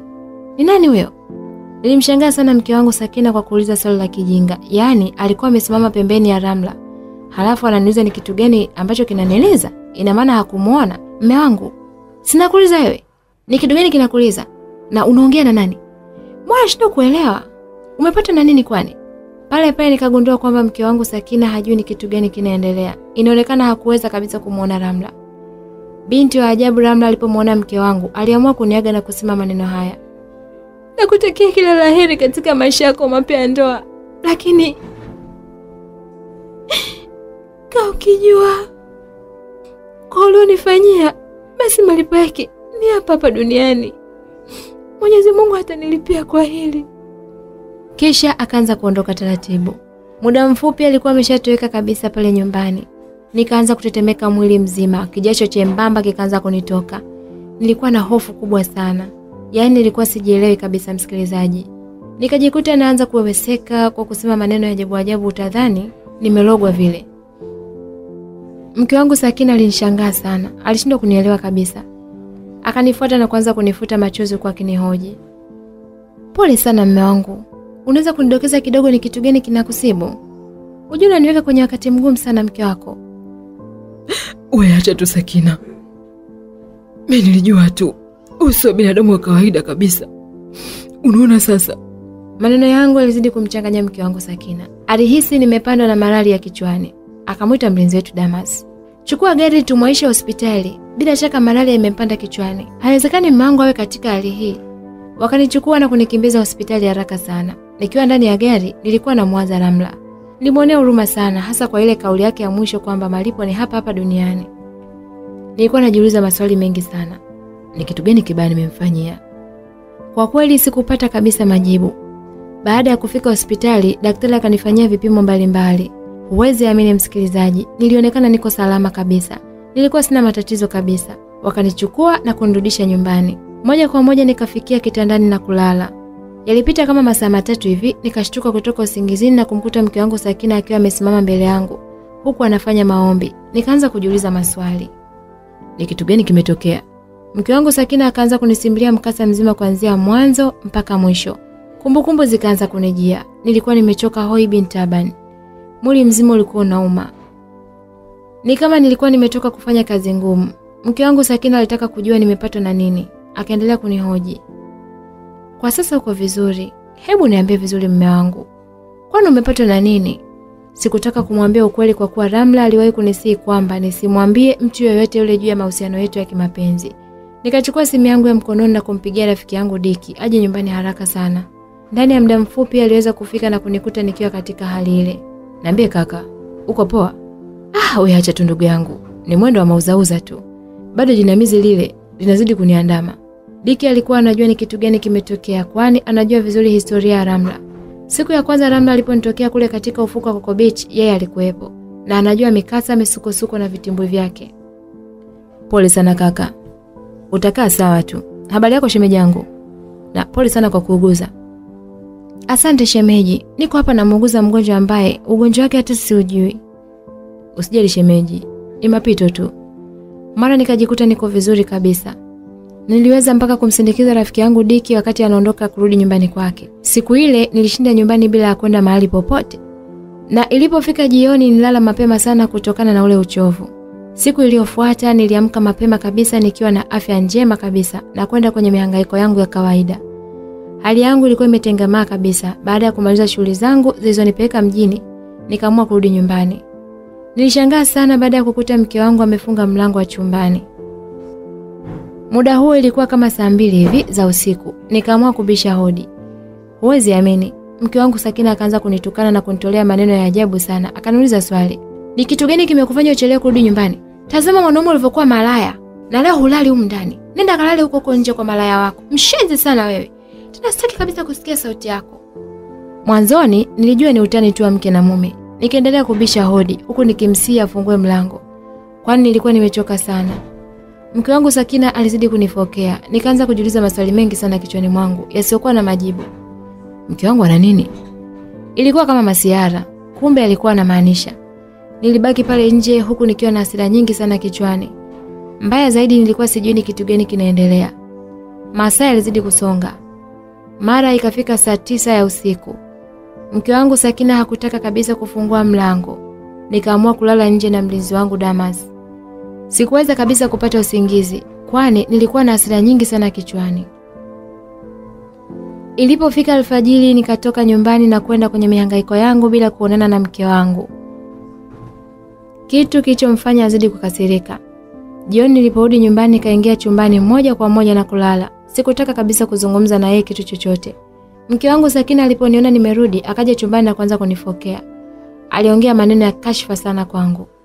Muda huo nilikuwa niko kitandani nimelala na mtoto wetu Shaibu. Huwezi amini, naye alipanda kitandani huku akiwa anafoka kama chatu. Ilizuka taharuki kubwa sana pale chumbani. Mwisho wa siku uzalendo ukanishinda. Nikajikuta naanza kumtembezea kichapo cha kufa mtu. Naye akaanza kujibu mashambulizi. Ilikuwa ni vita kali sana ya mke na mume. Sababu ya ugomvi wetu ilikuwa haijulikani. Katika mazingira ya utatanishi, ghafla mtoto wetu Shaibu alianguka kutoka kitandani na kufikia sakafuni. Akaanza kutoka na damu nyingi sana kichwani. Kitendo kile kilizidi kuleta taharuki, kwani ghafla tulisitisha ugomvi na kuanza kuifuatilia hali ya mtoto wetu. Hali yake ilizidi kuwa mbaya sana. Wote tukaanza kuchanganyikiwa.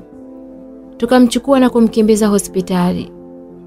Daktari akaanza kumfanyia matibabu huku mimi na mke wangu Sakina na mlinzi wetu Damas tukiwa nje. Ghafla daktari alitoka katika chumba cha wagonjwa mahututi huku akiwa ameshika kichwa chake. Alikuwa anabubujikwa na machozi ya huzuni. Nikaanza kuchanganyikiwa. Nikamuuliza swali huku nikiwa na mihemko. Ni kitu gani kinaendelea huko? Daktari aliniambia. Kitu kilichofuata watu wote tulibaki hoi bin taban. Yaani tulichanganyikiwa ghafla na kutokuamini yale tuliyosikia kutoka kwake. Ni kama masihara vile, kumbe ni kweli. Pole sana kaka, kazi ya Mungu haina makosa. Sisi tulimpenda, lakini Mungu kampenda zaidi. Unasemaje wewe? Hebu acha masihara. Ukweli ni huo, ndugu yangu, siwezi kuleta utani katika mambo ya muhimu kama haya. Msikilizaji, nilichoka hoi bin Taban. Mke wangu Sakina alisikia maneno yale kutoka kwa daktari. Jamani, mbona kama masiara vile? Ina maana mtoto wangu Shaibu ndiye amefariki. Vikaanza vilio visivyokuwa na kikomo. Hali ilikuwa ni tete pale hospitalini. Ni tukio la kushtukiza sana na kushangaza. Kweli nimeamini, duniani tunapita tu. Sikuamini kabisa kama mtoto wangu Shaibu ndio ametutoka, kwani mazingira ya kifo chake ni ya utatanishi sana. Ulikuwa kama mchezo wa kuigiza vile. Nilikuwa na huzuni kubwa sana iliyoambatana na hasira nyingi sana kichwani. Nilimtazama mke wangu Sakina kwa jicho la husda sana. Ndiyo, maana yeye ndiye alikuwa ni chanzo cha matatizo yote. Na yeye alijua kabisa kwamba namchukia sana. Akaja mpaka mahali nilipokuwa nimesimama na kusema, Samani sana mme wangu, yaani sikujua ni kitu gani kimetokea. Nimejikuta naanzisha tu ugomvi usiokuwa na sababu. Hata sielewi nilipatwa na nini. Hapa nilipo nimechanganyikiwa vibaya sana. Maisha ya binadamu ni kitendawili kikubwa, hakuna ijuaye kesho yake. Kwa kweli nastahili kulaumiwa katika elimu mume wangu. Sikutaka kumwambia kitu chochote kile, nilikuwa nalia kwa uchungu sana. Nilijisikia vibaya sana. Mlinzi wetu Damas akaenda mpaka kwa daktari na kupata mwongozo. Kwa upande wangu nilikuwa sina nguvu kabisa. Baada ya dakika tano alikuja na mrejesho kamili. Daktari anasema tunaweza kuchukua mwili wa marehemu na kuondoka nao nyumbani tayari kwa mazishi. Iwapo tutachelewa zaidi, gharama itakuwa kubwa sana. Kwa hiyo tufanye mchakato upesi iwezekanavyo. Diki ni mtu wangu wa karibu sana. Kwa mimi ni zaidi ya rafiki. Nikaamua kumpigia simu ili aje haraka sana pale hospitali. Halo, niambie kaka. Njema tu, uko sawa? Mbona kama unalia? Ah, acha tu kaka, nipo hapo hospitalini. Nilimeta mtoto wangu, yaani alianguka tu ghafla wakati wa usiku na kuumia vibaya sana. Hali yake ilikuwa ni mbaya kupita maelezo, kwani alikuwa anatoka na damu nyingi sana kichwani. Hivyo ndani ya muda mfupi tu baada ya kumfikisha hospitalini amefariki dunia. Kwa sasa tupo katika mchakato wa kuchukua mwili wa marehemu. Sijakuelewa kaka, kwani ilikuwaje? Da, nisemeze ndefu sana. Wewe njoo kwanza tuchukue mwili wa marehemu. Akiwa kama rafiki yangu wa damu, mtu wa karibu yangu sana, Diki alifika hospitalini. Tulichukua mwili wa marehemu mtoto wangu Shaibu na kurudi naye nyumbani. Inauma sana msikilizaji, kwani alizaliwa salama kabisa siku chache zilizopita. Kitu kilichokuwa kinaniuma zaidi ni mazingira ya kifo chake. Amekufa kifo cha kikatili sana. Niliweza kumshuhudia mtoto wangu wa karibu mno. Ni mtoto mdogo sana wa miezi kadhaa. Alianguka ghafla sakafuni na kichwa chake kupasuka vibaya sana. Muda mfupi baadaye tuliweza kufika nyumbani na mipango ya mazishi ikafanyika. Hatimaye tukaenda kumpumzisha katika nyumba yake ya milele. Alienda kwenye makazi mapya kabisa. Mimi na mke wangu Sakina tulibaki wapweke. Nikaamua kuwapigia simu wazazi wangu na kuwaambia kila kitu kilichotokea nyumbani. Halo, asante sana wazazi wangu kwa kunichagulia mke mwema. Mmemsifia sana kama ni mtu mwema tena mwenye heshima. Ni kweli nimeona heshima yake. Nasikitika sana kumpoteza mtoto wangu Shaibu, ila mkae mkijua kwamba chanzo cha kifo chake ni huyo mwanamke mliyempa sifa nyingi sana na kumpamba. Kwangu mimi huyu ni adui mkubwa, ili simtamani kabisa kumuona. Kwani unasema hivyo? Baba aliuliza. Nikaanza kumsimulia mkasa mzima kuanzia mwanzo mpaka mwisho, yaani sikutaka kumficha kitu chochote kile. Hakuamini. Hivi hayo unaosema ni kweli? Sasa wazazi wangu ni wadanganye ili iweje? Wazazi wangu hawakuamini kabisa. Tangu lini huyo mwanamke ana tabia hiyo? Tunamfahamu vizuri sana, ni mtoto wa mzee Numbi na amekulia katika maadili mazuri. Mbali ya kumpa sifa zote, niliwaona wazazi wangu ni watu wabaya sana. Kwa kweli walinikera sana. Nikaamua kuyaacha haya yapite na maisha yaendelee. Siku moja baada ya mazishi, akaanza kuleta vituko vyake. Eti akaanza kudai talaka kwa kuwa amechoka kuishi na mimi. Nilishindwa kabisa kumwelewa. Nilimwona ni mtu wa ajabu sana.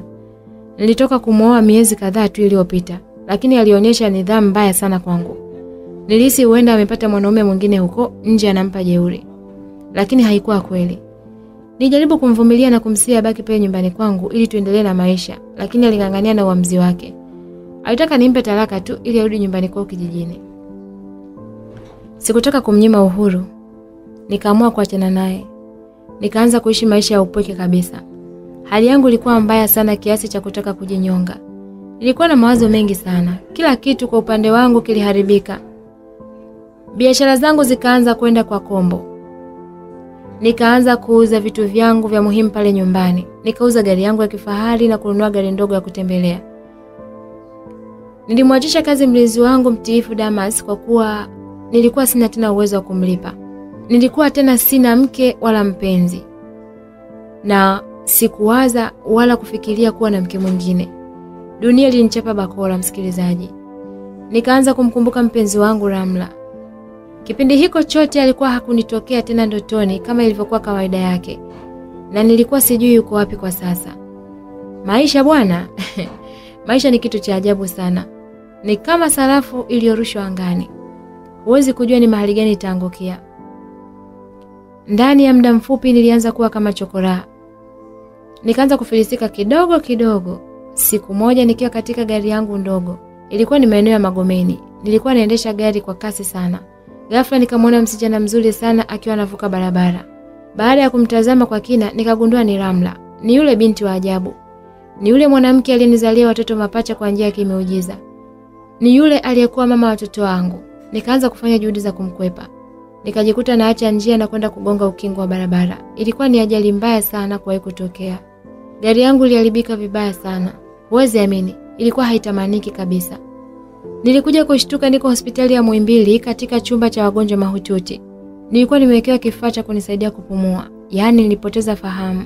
Nikiwa ndani ya chumba kile cha wagonjwa mahututi, Ramla alinitokea na kusema, pole sana mpenzi, kwa haya masaibu makubwa ambayo unakutana nayo, ni mapito tu. Nilimtazama huku nikibubujikwa na machozi, nikaanza kujiuliza maswali mengi sana. Ina maana anajua kila kitu kinachoendelea? Hivi taarifa hizi huwa anapewa na nani? Nilikosa kabisa majibu yake. Nikiendelea kumtazama kwa unyonge kupita kiasi. Nikiwa katika sintofahamu kubwa sana, Ramla aliendelea kufanya mazungumzo na mimi. Kwa nini umeamua kuachana na mke wako kipenzi? Ina maana ulikuwa umemchoka? Sikuwa na jibu la kumpa. Si umeona yule ni wa muhimu sana kuliko mimi? Iweje sasa uachane na mtu wa muhimu kwako? Msikilizaji, nilikuwa namtazama tu. Kwa kweli niliumia sana. Maneno yake yalinichoma sana. Nilitamani kumwambia kwamba yule sio chaguo langu, ni chaguo la wazazi wangu. Nilijisikia vibaya sana kupita maelezo. Muda huo nilikuwa nimelala kitandani, huku mkono wangu wa kulia ukiwa umefungwa bandeji. Hii ni ishara kwamba ulikuwa umevunjika, na mguu wangu wa kulia ulikuwa umewekwa antena na kutundikwa juu. Na hisi nilikuwa nimevunjika mguu pia.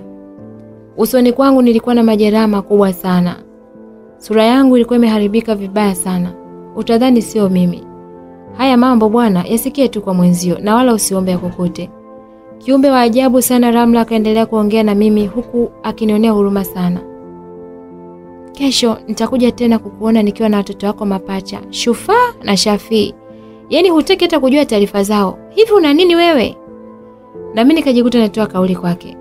Kwa nini unanifanyia hivyo Ramla? Ni gani nimefanya kwako? Hebu nihurumie. Tatizo lako Sadi, unajifanya hujui kosa lako. Kwani hujui kama mimi nakupenda sana? Kwa nini uachane na mimi na kuoa mwanamke mwingine? Mimi sina tatizo na wewe Ramla, nakupenda sana. Lakini kwa nini tusiishi ukiwa na umbo la kibinadamu tu kama wengine? Ndugu zangu wanataka kukuona na wewe. Watoto zangu wanatamani kwenda kuwaona wazazi wangu. Unadhani itakuwaje? Tatizo ni hilo tu. Sikiliza Sadi, kama umeamua kunipenda wewe, nipende tu. Ukweli ni kwamba mimi sio binadamu wa kawaida na watoto wangu pia si binadamu wa kawaida. Ni wewe tu ndo unajua kama umezaa watoto mapacha na mimi. Kwani kuna lazima gani wengine kujua? Hapana Ramla, kuna umuhimu mkubwa sana. Nitaishi vipi na mtu ambaye ndugu zangu hawamjui? Ungekuwa unakubali basi iwe hivyo. Okay, endelea tu kuishi hivyo unavyotaka wewe, lakini kaa ukijua nakupenda sana na kuahidi siko tayari kabisa kukupoteza. Kwa hiyo tunafanyaje Ramla? Hebu nionee huruma mtoto wa mwanamke mwenzio. Ramla alinitazama sana akaanza kububujikwa na machozi. Muda huo nilikuwa na daktari mkuu katika chumba cha wagonjwa mahututi, lakini alikuwa hasikii mazungumzo yetu na wala hamuone binti wa ajabu Ramla. Hakika huyu alikuwa ni kiumbe wa ajabu sana. Baada ya kulia kwa hisia kali sana, alisikika akisema, fumba macho nikufanyie maombi. Na mimi nikafanya kama alivyotaka yeye. Akaanza kufanya maombi kwa lugha anayojua mwenyewe, kisha akaniambia kwamba nifumbue macho. Baada ya kufumbua tu, huwezi amini, sikumwona tena. Nikajikuta nina mabadiliko makubwa sana. Yale majeraha makubwa yalitoweka ghafla. Sura yangu ilirudi kama kawaida. Maumivu makali sana niliyokuwa nayo hapo awali hayakuwepo tena. Nilibaki na bandeji tu mkononi na antena za mguuni, lakini hivyo vyote vilikuwa na maumivu ya kawaida sana. Nilimwona Ramla ni kiumbe wa ajabu sana. Nikaanza kumshukuru kimoyo moyo. Daktari akanichukua na kunipeleka udini. Nikachukua simu yangu ya mkononi na kumpigia rafiki yangu Diki. Alikuwa hajui kama nimepata ajali mbaya sana. Halo kaka, vipi? Da, sio poa kabisa ndugu yangu. Nimepata ajali mbaya sana maeneo ya Magomeni. Gari yangu iliacha njia na kwenda kugonga ukingo wa barabara. Nimeumia vibaya sana. Kwani nimevunjika mguu na mkono wangu wa kulia. Ah, siku gani hiyo kaka? Ni kama siku mbili hivi zimepita. Kwa hiyo upo hospitali gani? Niko Muhimbili, kadi wodi ya mifupa ya Kibasila. Kama itawezekana, njoo haraka sana ndugu yangu. Hapa nilipo sina msaada wowote ule. Huwezi amini hata wazazi wangu hawana taarifa. Ni wewe tu ndo unajua. Okay, nakuja ndugu yangu. Diki kama Diki bwana. Dickson kama Dickson alikuja mpaka hospitalini. Alinikuta nikiwa odini nimelala kitandani. Pole sana kaka. Hivi ni kwa nini unaandamwa na mabalaa ya namna hii mara kwa mara? Hivi juzi tu umetoka kumpoteza mtoto wako kipenzi Shaibu. Kana kwamba haitoshi, umeachana na mke wako Sakina katika mazingira ya utatanishi tu. Leo hii umepata ajali mbaya sana. Ni kweli kabisa ndugu yangu. Lazima kuna kitu kinaniandama. Nahisi atakuwa ni ule binti wa ajabu anaitwa Ramla. Wewe unaonaje? Hata mimi nahisi hivyo. Kwani unatakaje? Au yeye binti anatakaje? Najua basi, yani hata sielewi kabisa. Nikaamua kuvunga, sikutaka ajue kinachoendelea kati yangu mimi na Ramla. Tulizungumza mambo mengi sana, kisha akaaga na kurudi nyumbani kwake. Siku iliyofuata nikiwa udini, Ramla alikuja na watoto wangu mapacha Shafii na Shufaa. I say, ni kweli ilikuwa ni damu yangu, kwani walikuwa wanafanana sana na mimi baba yao. Kipindi hiki walikuwa wamekuwa kwa kiasi fulani. Mama yao akaanza kuambia kuhusu mimi. Watoto walikuwa kimya wakimsikiliza. Kama kawaida yao, hakuna mtu mwingine yeyote yule ambaye aliweza kuwaona zaidi yangu mimi. Mara Lamla akanipa mfuko fulani hivi ambao ndani yake ulikuwa na chakula kizuri sana. Nikaanza kukifakamia kwa kuwa nilikuwa na njaa sana. Siku hiyo Lamla hakutaka kukaa sana kama kawaida yake, alinifanyia maombi kisha akaaga na kuondoka. Nikaanza kupata nafuu na majeraha yangu yakapona kabisa. Nilibaki pale hospitali kwa siku nyingi sana. Nilikuwa chini ya uangalizi wa madaktari bingwa wa mifupa. Kuna wakati fulani nilipata nafuu kwani niliweza kutembea mimi mwenyewe pasipo na msaada wa mtu mwingine yeyote yule. Nilishangaa kuona bado naendelea kukaa pale hospitalini. Siku moja daktari alikuja wodini, nikaamua kuvunja ukimya na kumwambia, "Dokta, ni kitu gani kinanifanya mpaka leo hii nibaki hapo hospitali? Mbona nahisi nimepona?" Ni kweli kabisa, tunasubiri kupata ruhusa kutoka kwa daktari mkuu. Hakuna kingine. Niliendelea kuwa na subra. Katika kitu cha kushangaza, binti wa ajabu Ramla naye akakata kabisa mawasiliano na mimi. Alikuwa haji tena pale hospitalini kunifariji. Nikaanza kujiuliza maswali mengi sana yasiyokuwa na majibu. Mbona siku hizi simuoni? Amepata na nini? Rafiki yangu Diki ndiye kijana pekee ambaye alikuwa anakuja kila siku kuniona na kuniletea chakula. Hali yangu ilianza kuwa mbaya kwani nilikuwa na msongo wa mawazo. Nikahisi kama dunia imenitenga. Kichwani mwangu nilikuwa na wazo. Nikaamua kumshirikisha rafiki yangu kipenzi Diki katika wazo lile. Ndugu yangu Diki, ujue mwenzio nimechoka sana na maisha haya. Sijui unafikiriaje? Ni kweli kaka, lakini tunafanyeje? Huwezi kuondoka bila kupata ruhusa kwa daktari mkuu. Hata mimi nakuonea huruma sana. Nina jambo. Nikwambie? Ya, niambie kaka. Unaonaje ukinitorosha? Da, inawezekana kweli. Kwa nini siwezekane? Basi sawa, wewe jiandae. Kesho nitakuja hapa kwa kazi maalum. Tuombe Mungu. Siku iliyofuata rafiki yangu Diki alikuja pale hospitalini. Ulikuwa ni muda wa kuwaona wagonjwa, kwa hiyo kulikuwa na pilikapilika nyingi sana. Na mimi nikatumia nafasi ile kuchukua magongo yangu na kujifanya nafanya mazoezi. Muda huo nilikuwa na rafiki yangu kipenzi Dickson. Kumbe alikuja na gari. Bila kupoteza muda tukapanda na safari ya kurudi nyumbani ikaanza. Nilijisikia furaha sana kuachana na maisha yale. Baada ya muda mfupi nilifika nyumbani. Kulikuwa na mabadiliko makubwa sana. Nyumba nzima ilikuwa imezungukwa na majani. Nikaanza kufanya usafi kuzunguka nyumba yangu. Yaani nilijikuta nimepona kabisa. Nikaacha kutembea na magongo. Baada ya kupita siku kadhaa nikaanza kuumwa tena. Yaani mwili mzima ulikuwa na maumivu makali sana. Mifupa ilikuwa inapasua vibaya mno. Nikaamua kumwambia rafiki yangu Diki. Diki, naona mwili wangu na mabadiliko makubwa sana. Yaani nasikia maumivu makali sana. Kwa hiyo tunafanyaje kaka? Ah, ni bora unirudishe hospitali. Najisikia vibaya sana. Sijai kupata na maumivu kama haya. Sijui kwa nini hali imenitokea ghafla. Basi sawa, lakini tunatakiwa kwenda kwenye hospitali ya mtu binafsi. Si unajua tena kule Muhimbili tulitoroka. Unadhani itakuwaje iwapo watatuona tena kwa mara nyingine? Uko sahihi kabisa kaka. Haya twende. Nikajikuta narudi tena hospitali kwa mara nyingine tena, lakini safari hii ni katika hospitali ya mtu binafsi. Daktari akanifanyia vipimo na kugundua kwamba sina tatizo.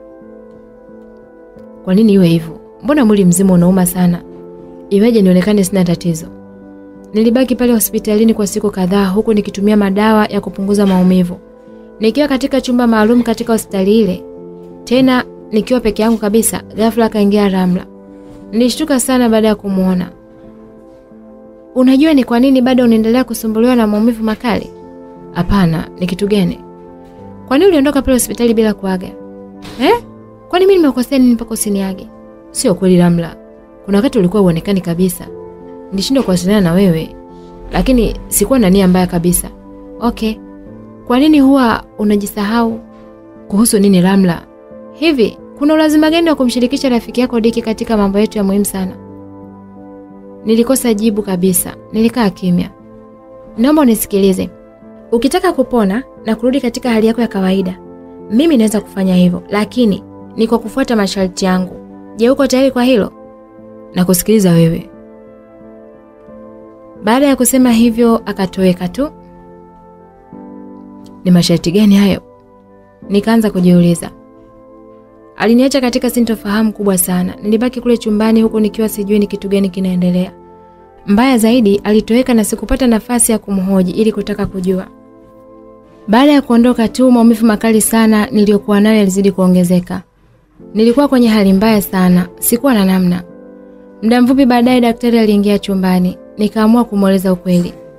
Ndugu yangu, naumia sana, mwili mzima unauma na kushangaa unaposema eti sina tatizo lolote. Hii inakuwaje? Inawezekana kweli mkuu?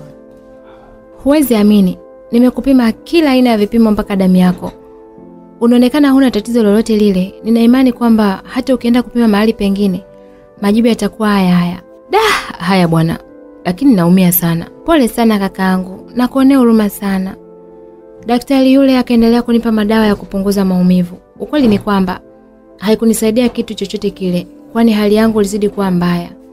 Nikiwa na maumivu yangu makali huku nikiwa sina hili wala lile, binti wa ajabu sana aitwaye Ramla alinijia kwa mara nyingine tena.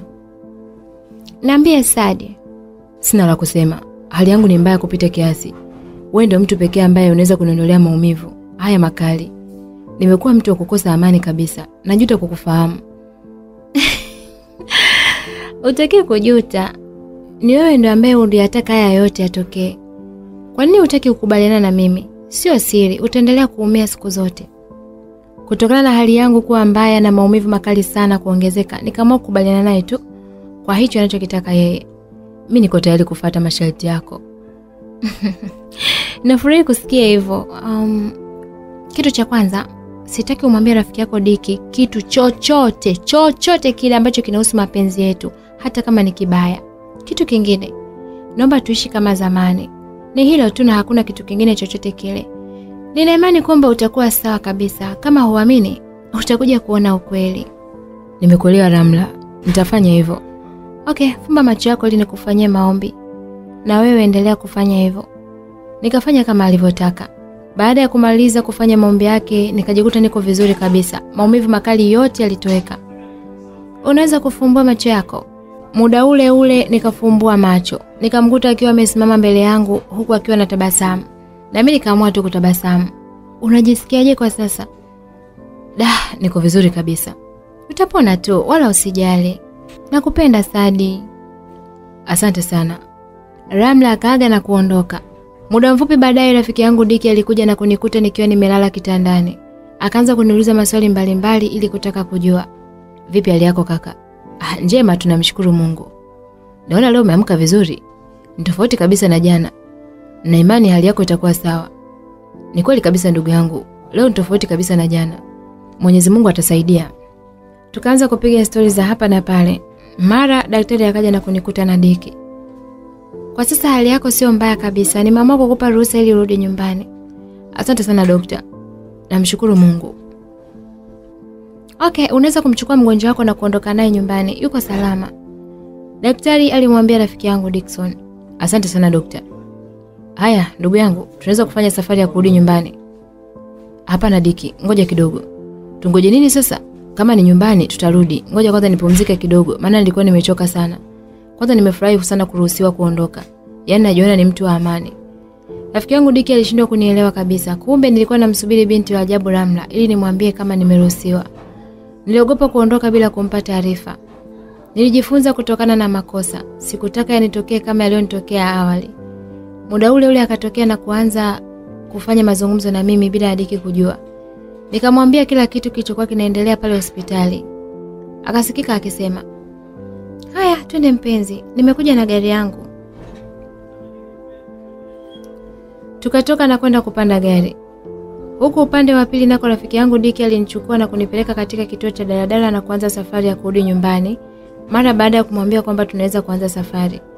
Ndani ya daladala nilikuwa na Diki, kule kwenye gari ya kifahari nilikuwa na Ramla. Yaani nilikuwa ni kama mtu mwenye nafsi mbili. Diki aliona kama yuko na mimi, kumbe nilikuwa na Ramla katika gari yake ya kifahari. Huu haukuwa uwezo wangu, ni vitimbi na miujiza ya yule binti wa ajabu sana. Anaitwa Ramla. Ni kiumbe cha ajabu sana. Msikilizaji, haya yapo, sio kwamba ni simulizi tu. Haya yapo na yanatokea sana katika jamii zetu. Mara tukafika nyumbani. Diki alishangaa sana kwani alionekana kuwa mchangamfu sana kuliko hapo awali. Moja kwa moja nikaingia chumbani kwangu. Diki akaga na kurudi nyumbani kwake na kuahidi tena kurudi jioni. Muda huo binti wa ajabu Ramla alikuwa pembeni yake tu, lakini Diki alikuwa hamuoni. Mara baada ya rafiki yangu Dickson kuondoka, jamani Sadi, yaani nina hamu sana na wewe mpenzi wangu. Siku nyingi sana sijapata penzi lako. Huu ni wakati sasa wa wewe kunipa haki yangu ya msingi, au unasemaje? Kwani hauna hamu na mimi kabisa? Ulijuaje mpenzi? Naam na wewe, yani hunishindi mimi. Tukajikuta wote wawili tupo kitandani na kale kamchezo kakaanza kufanyika. Nilishasema hapo awali. Tangu nifanye mapenzi na wasichana tofauti tofauti sijawahi kupata mapenzi matamu kama aliyokuwa ananipa Ramla. Yaani aliwazidi kwa kila kitu. Tulikuwa na uhuru wa kutosha sana pale chumbani. Safari hii sikuwa na mashaka naye kabisa kwani tayari nilikuwa nimeshamzoea. Kutwa nzima tulikuwa chumbani huku tukifanya mapenzi. Tulifurahia sana. Baada ya kumaliza kufanya yetu, Ramla aliingia jikoni na kupika chakula kizuri sana. Wote pamoja tukaanza kula. Kwa kweli nilifarijika sana siku hiyo. Baada ya kumaliza kula, Ramla aliaga na kuondoka, lakini kuna kitu alisema. Unajua nini? Nimetokea kumchukia sana rafiki yako Diki. Hivyo unampenda sana eh? Hawezi kuachana naye na kutafuta rafiki mwingine hivi? Hapana, kwangu mimi yule ni zaidi ya rafiki. Ni mtu wangu wa karibu sana. Ni kama ndugu. Kwa hiyo, yeye ni muhimu sana kuliko mimi? Hapana mpenzi. Kila mmoja na nafasi yake. Ramla alinitazama sana usoni, kisha akaondoka. Muda mfupi baadaye simu yangu ya mkononi iliita, nikaichukua na kutaka kuipokea. Ilikuwa ni namba ya rafiki yangu Dickson. Nikaanza kujiuliza maswali kichwani. Kuna nini? Mbona alikuwepo muda si mrefu hapa? Halo, niambie kaka. Ah, poa tu ndugu. Niko nyumbani. Lakini hali yangu ni mbaya sana. Yaani nimepatwa na maradhi ya tumbo ya ghafla tu. Huwezi amini. Sina msaada kaka. Kama itawezekana, njoo haraka sana. Imekuwaje? Mbona muda mfupi tu ulikuwa hapa? Ni kitu gani tena kimetokea kwako? Nikatoka nyumbani kwangu haraka sana na kwenda nyumbani kwa rafiki yangu Dickson. Nilimkuta akiwa na hali mbaya sana. Alikuwa analalamika kutokana na maumivu makali sana ya tumbo. Bila kupoteza muda, nikamchukua na kumkimbiza hospitali haraka sana. Baada ya kufika pale hospitali, alipokelewa na daktari wa zamu wa kiume na kuanza kumfanyia matibabu. Alikuwa katika hali mbaya sana. Nilikosa amani kabisa kwa kuwa huyu ni mtu wangu wa karibu sana. Amekuwa ni msaada mkubwa sana kwangu, hivyo niliumia sana. Nikiwa pale nje huku nikiwa na mawazo mengi sana kichwani, mara akatokea daktari wa kike na kuja mahali ambapo mimi nimekaa. Daktari yule alifanana kabisa na binti wa ajabu Ramla kwa kila kitu. Nikaanza kumshangaa. Sikuamini macho yangu kabisa. Nikaanza kujiuliza maswali mengi sana kichwani mwangu. Huu sio Ramla ninayemjua mimi? Ina maana na yeye daktari? Ni muda gani amekuja hapa? Mbona nilikuwa naye nyumbani muda si mrefu? Au itakuwa tunamfananisha? Akaniambia, hali ya rafiki yako ni mbaya sana, sidhani kama atapona. Kwa hiyo jiandae kisaikolojia. Kuna nini daktari? Hebu niambie. Hakujibu chochote kile, ghafla akatoweka. Nikaanza kuwa na hofu kubwa sana. Kwanza niliona miujiza kumwona Ramla akiwa kama daktari.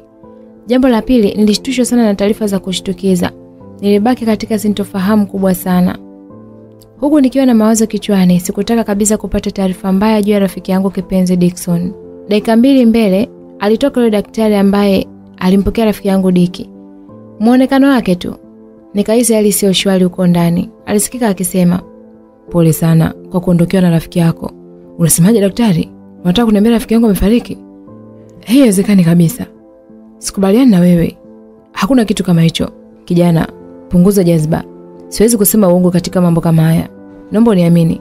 Nasema hivi, haiwezekani. Kwa nini afe kirahisi hivi? Ni kitu gani kinaendelea? Mbona nashindwa kuelewa? Ni muda mfupi tu nilikuwa naye, tuliongea mambo mengi sana. Sikiza kijana, siku zote kifo tunatembea nacho. Hata wewe mwenyewe hapo ulipo ni marehemu mtarajiwa.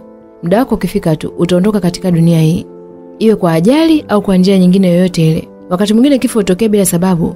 Si afadhali huyu alikuwa anaumwa? Ni kitu gani kinakushangaza? Naomba uniamini kaka. Da, jamani Diki. Ah, Hivi ni kweli? Hizi hazikuwa taarifa njema kwangu. Diki alikuwa ni mtu wangu wa karibu sana. Hakuwa rafiki kwangu bali ni kama ndugu yangu wa damu. Nikajihisi kama nimepungukiwa na mojawapo ya kiungo changu cha mwili. Nikajikuta na bubujiko na machozi kama mtoto mdogo. Sikuamini kabisa kile kilichotokea. Nilikuwa naye muda si mrefu. Alikuja nyumbani kunitembelea. Baada ya kurudi nyumbani kwake, alinipigia simu kwamba anaumwa. Nikatoka nyumbani kwangu na kuelekea nyumbani kwake. Ni kweli nilimkuta anaumwa. Nikaamua kumpeka hospitali. Kilichotokea ndio kama hiki, msikilizaji. Ni kifo cha kushtukiza sana. Nililia sana, nikajikuta naishiwa na nguvu kabisa.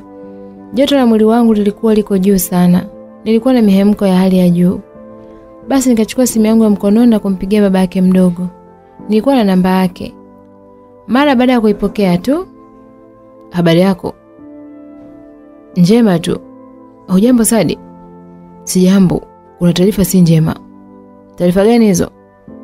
Da, inaumiza sana. Rafiki yangu Dickson hayuko tena duniani. Ni muda mfupi tu mara baada ya kumfikisha hospitali. Yaani aliumwa tu ghafla. Hapana, sitaki kabisa kusikia taarifa hizo. Yaani afe ghafla hivyo? Mbona nashindwa kuamini? Kwa nini kifo hakina huruma jamani?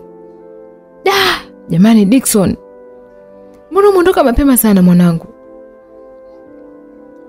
Baba yake mdogo alilia sana. Alikuwa anampenda sana. Unajua nini? Dickson alikuwa ni kipenzi cha watu wengi sana. Achana na ndugu zake, hata jamaa na marafiki walimpenda sana. Kwa upande wangu ndio usiseme, niliondokewa na mtu muhimu sana katika maisha yangu. Kwa hiyo maiti yake iko wapi? Babake mdogo aliniuliza swali. Iko hapa katika hospitali ya Tumaini. Basi sawa, niko njiani nakuja. Nipe kama nusu saa hivi. Ikiwezekana nafanya mchakato wa kutoa maiti ili nikija hapo tuondoke. Hakuna tatizo. Wakati babake mdogo yuko njiani kuja huko hospitali, mimi nilikuwa nafanya mchakato wa kutoa mwili wa marehemu rafiki yangu Diki. Alifika na kunikuta nikiwa katika hatua za mwisho kabisa. Aliponiona tu akaanza kububujikwa na machozi. Alilia na kusema, Uko katika kipindi kigumu sana. Najua ni jinsi gani umeumia juu ya kifo cha rafiki yako. Nyinyi imekuwa kama mapacha msiofanana. Ah. Yaani kama masiara vile. Ameondoka na kukuacha mwenyewe. Sijui kwa nini wevi. Wewe acha tu. Maumivu makali niliyokuwa nayo hayapo hata kwa ganzi. Ba mdogo, nahisi kama nimepigwa na kitu kizito kichwani. Hapo nilipo nahisi kama niko ndotoni. Natamani kuona akishtuka kutoka katika kifo na kurudi duniani.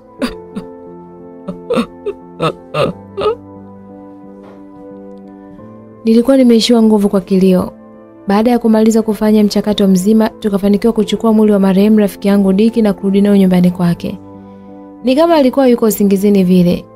Ni kama alipitiwa na usingizi mzito. Nilikuwa nategemea kuona miujiza.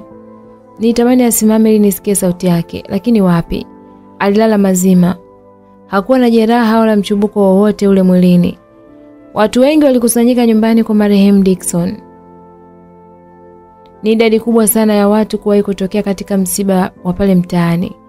Hii iliweka rekodi. Mara ukafika muda wa kuaga mwili wa marehemu. Watu wengi walienda kutoa heshima zao za mwisho. Mara ukafika muda wa mimi kwenda kutoa salamu zangu za mwisho kwake. Muda huo nilikuwa nimeshikwa mkono na baba yake mdogo kwa kuwa nilikuwa sina nguvu kabisa. Nilipofika pale kwenye jeneza lake sasa, Dickson, Unataka kuniambia ndio unaondoka na kuniacha mwenyewe? Hapana, mbona siamini. Kwani unaondoka kipindi ambacho bado nakuhitaji rafiki yangu? Ah, nenda mwana, najua umemaliza mwendo hapa duniani, huna baya na mtu. Ah, ah. Nenda kapumzike, nina imani iko siku tutaonana. Uwe tangulia nami nitafuata. Kwa haraka haraka unaweza ukadhani kwamba alikuwa amelala, kumbe alikuwa katika usingizi mzito sana wa kifo. Pale kilibaki kiwiliwili chake tu na sio roho yake. Asikwambie mtu bwana, kifo kinauma sana iwapo utampoteza mtu muhimu sana. Nililia mpaka kufikia hatua ya kutaka kumkufuru Mungu, kwani niliongea maneno ambayo nahisi alimchukiza sana Mwenyezi Mungu. Kwa nini unachukua vijana na kuacha wazee? Kwa nini umemchukua mtu ambaye hajatimiza hata ndoto yake? Mungu, ungemwacha basi japo apate hata mtoto mmoja akiwa kama kumbukumbu kwetu. Ah, ah, ah. Umama ukatisha safari yake ndefu sana, tabaki na nani sasa?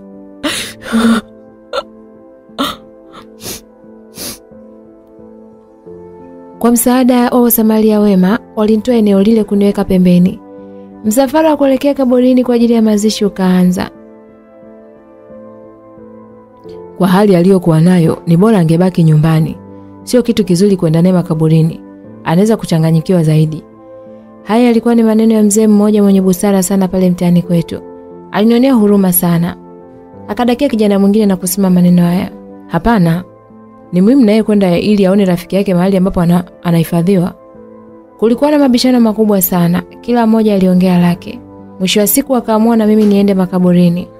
Kilichotokea huko makaburini siwezi kukisahau kabisa. Ni baada ya sanduku lake kuingia kaburini kisha kuanza kufukiwa na udongo. Ghafla nikaanguka na kupoteza fahamu. Kilichoendelea hapo makaburini wala sikikumbuki. Nilikuja kushtuka baada ya kujikuta niko wodini huku nikiwa nimetundikiwa drip ya maji na drip ya damu. Nikaanza kuvuta kumbukumbu zangu ili kutaka kujua ni kitu gani kimetokea. Mwisho wa siku nikakumbuka. Nilibaki katika sintofahamu kubwa sana. Nilikumbuka mengi sana kutoka kwake. Ah, ina maana ndo sitomuona tena rafiki yangu kipenzi Diki. Mbele yake, nyuma yangu. Ghafla nilimwona binti wa ajabu Ramla akija huku akiwa anatoa tabasamu lake mwanana sana. Muda huo nilikuwa nimelala pale odini. Ile ndoto yangu ya kukumiliki bila kikwazo imekamilika. Yeye ndo alikuwa kikwazo. Hayo yalikuwa ni maneno ya Ramla. Una maana gani kusema hivyo? Nilimuuliza swali Ramla. Hakuna mtu mwingine yeyote yule ambaye alimuona zaidi yangu. Yaani alikuja kimeujiza fulani hivi. Nilikuwa namchukia sana rafiki yako Diki na ndio maana nimeamua tu kumchukua mazima. Unasemaje Ramla? Kumbe ni wewe? Yeah. Sasa ulidhani ni nani? Nikajikuta napoteza fahamu kwa mara nyingine tena. Maneno yake yalinichoma kupita maelezo. Ile ilikuwa ni siku yangu ngumu sana.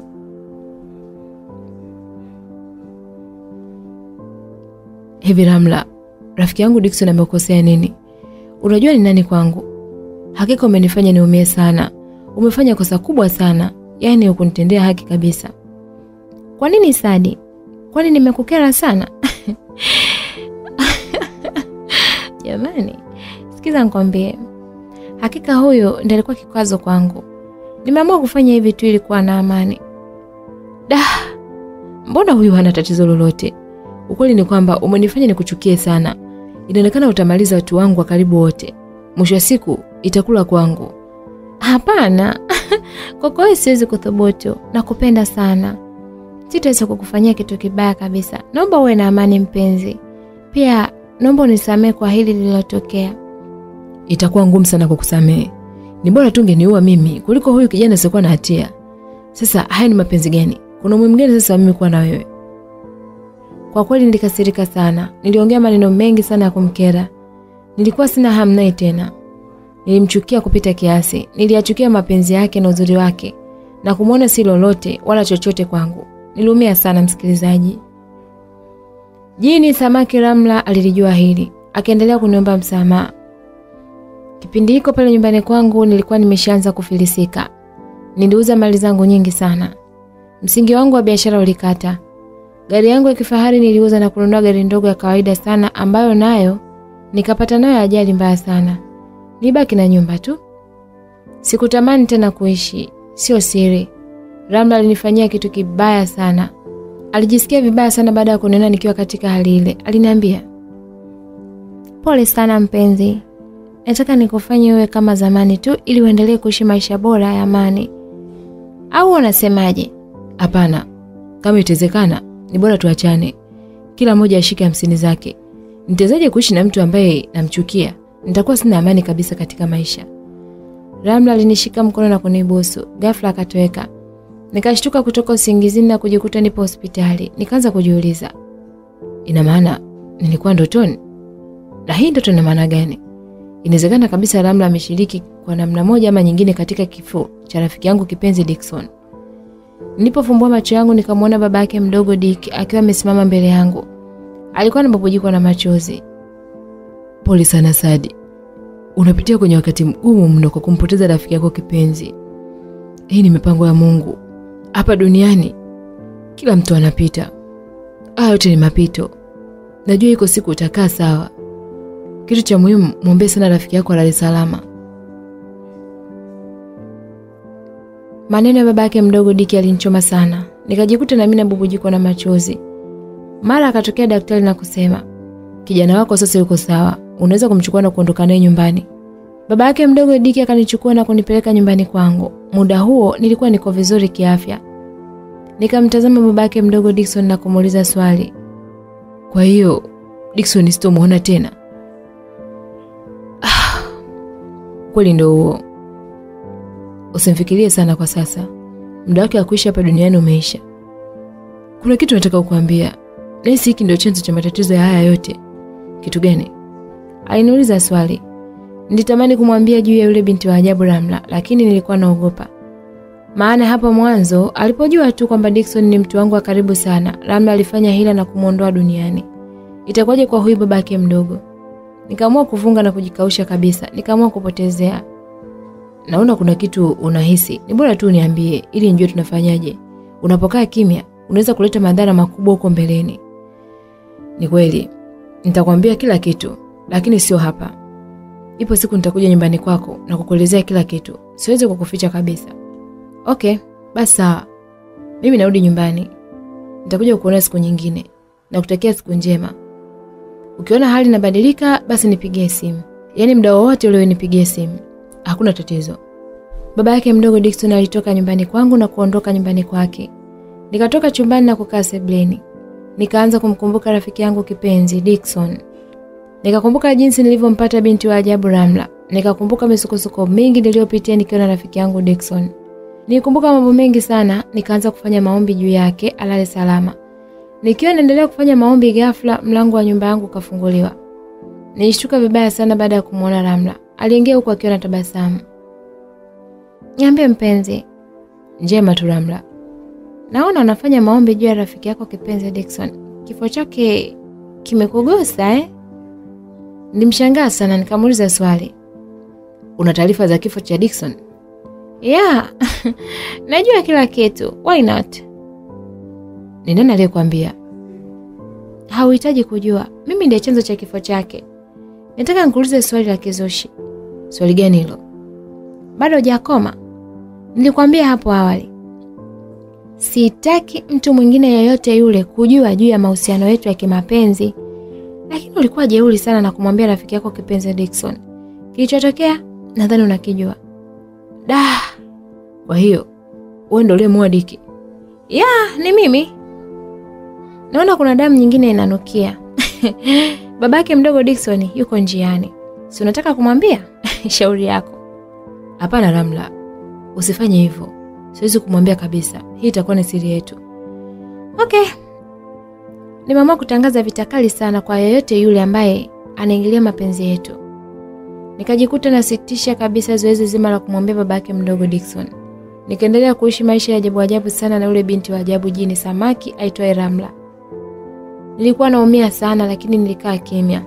Ndani ya muda mfupi utajiri wangu ulirudi upya kabisa, nikawa kama zamani, lakini nilikosa kabisa uhuru. Siku moja, msikilizaji, niliamua kuchukua maamuzi magumu sana. Nikaamua kumtafuta kiongozi mmoja wa dini na kumwambia kila kitu kinachoendelea kwangu. Sikutaka kumficha kitu chochote kile. Da, pole sana kijana. Kumbe siku zote ulikuwa mtumwa wa shetani. Majini ni viumbe wa ajabu sana, wanaweza kukuganda na ukashindwa kutamani kabisa wanawake wengine. Wakati mwingine huvunja ndoa za watu. Nimegundua kwamba una jini mahaba. Nikaanza kumsikiliza kwa makini sana. Mara nyingi sana hupenda kukaa baharini, ziwani na kwenye mito. Hupenda kama walivyo binadamu wengine. Viumbe hawa wana wivu sana kuliko hata binadamu. Mara nyingi hupenda mtu ambaye anafuata masharti yao. Ukienda kinyume na hivyo, utaumia sana. Duh, ni kweli kabisa. Kwa hiyo tunafanyaje? Hakuna namna. Unahitaji kupata kisomo cha Rukaiya. Baada ya hapo hata kujia tena. Utaendelea na maisha kama kawaida tu kama binadamu wengine. Na utaachana kabisa na hiyo misukosuko ambayo inakuandama hapa duniani. Basi na tufanye hivyo. Nikamwambia kiongozi yule. Nikafanyiwa maombi na yule kiongozi wa dini pale mtaani kwetu. Ni kweli tangu siku ile sikuweza kutokewa tena na jini samaki aitwaye Ramla. Niliishi maisha yangu ya kawaida. Nikaamua kufanya ibada kwa dhati kabisa. Nikajikuta nipo katika ulimwengu mwingine kabisa. Yale yote niliyopitia yalibaki kama historia. Kila nikikumbuka huwa nakosa amani. Msikilizaji, na huu ndio mwisho kabisa wa simulizi yetu hii tamu kabisa na yenye matukio ya kuogopesha na kusikitisha mno. Simulizi inakwenda kwa jina la Jini Samaki. Ni bonge la simulizi ambalo limekuacha na mafunzo ya kutosha. Na kama nilivyosema hapo awali, msikilizaji, haya mambo tunakutana nayo sana katika jamii yetu, na yapo sio kwa wanaume tu, bali hata kwa wanawake. Kwa hiyo cha msingi ni kumshikilia sana Mungu na kuishika imani, kwani mbele ya Mwenyezi Mungu hakuna nguvu za giza wala nguvu zozote zile za mashetani ama mapepo yanaweza kuingilia. Hivyo tu, ndugu msikilizaji, nikukumbushe tu, mtunzi na mwandishi wa simulizi hii tamu sana ni yule yule kijana machachari mkali wa hizi kazi aitwaye Sadi Salum Mzola, na msimuliaji wako ni mimi Victoria Buchuma kutoka hapa Simulizi Mixi. Unaweza kutupata kupitia simu namba 0677 062012. Karibu.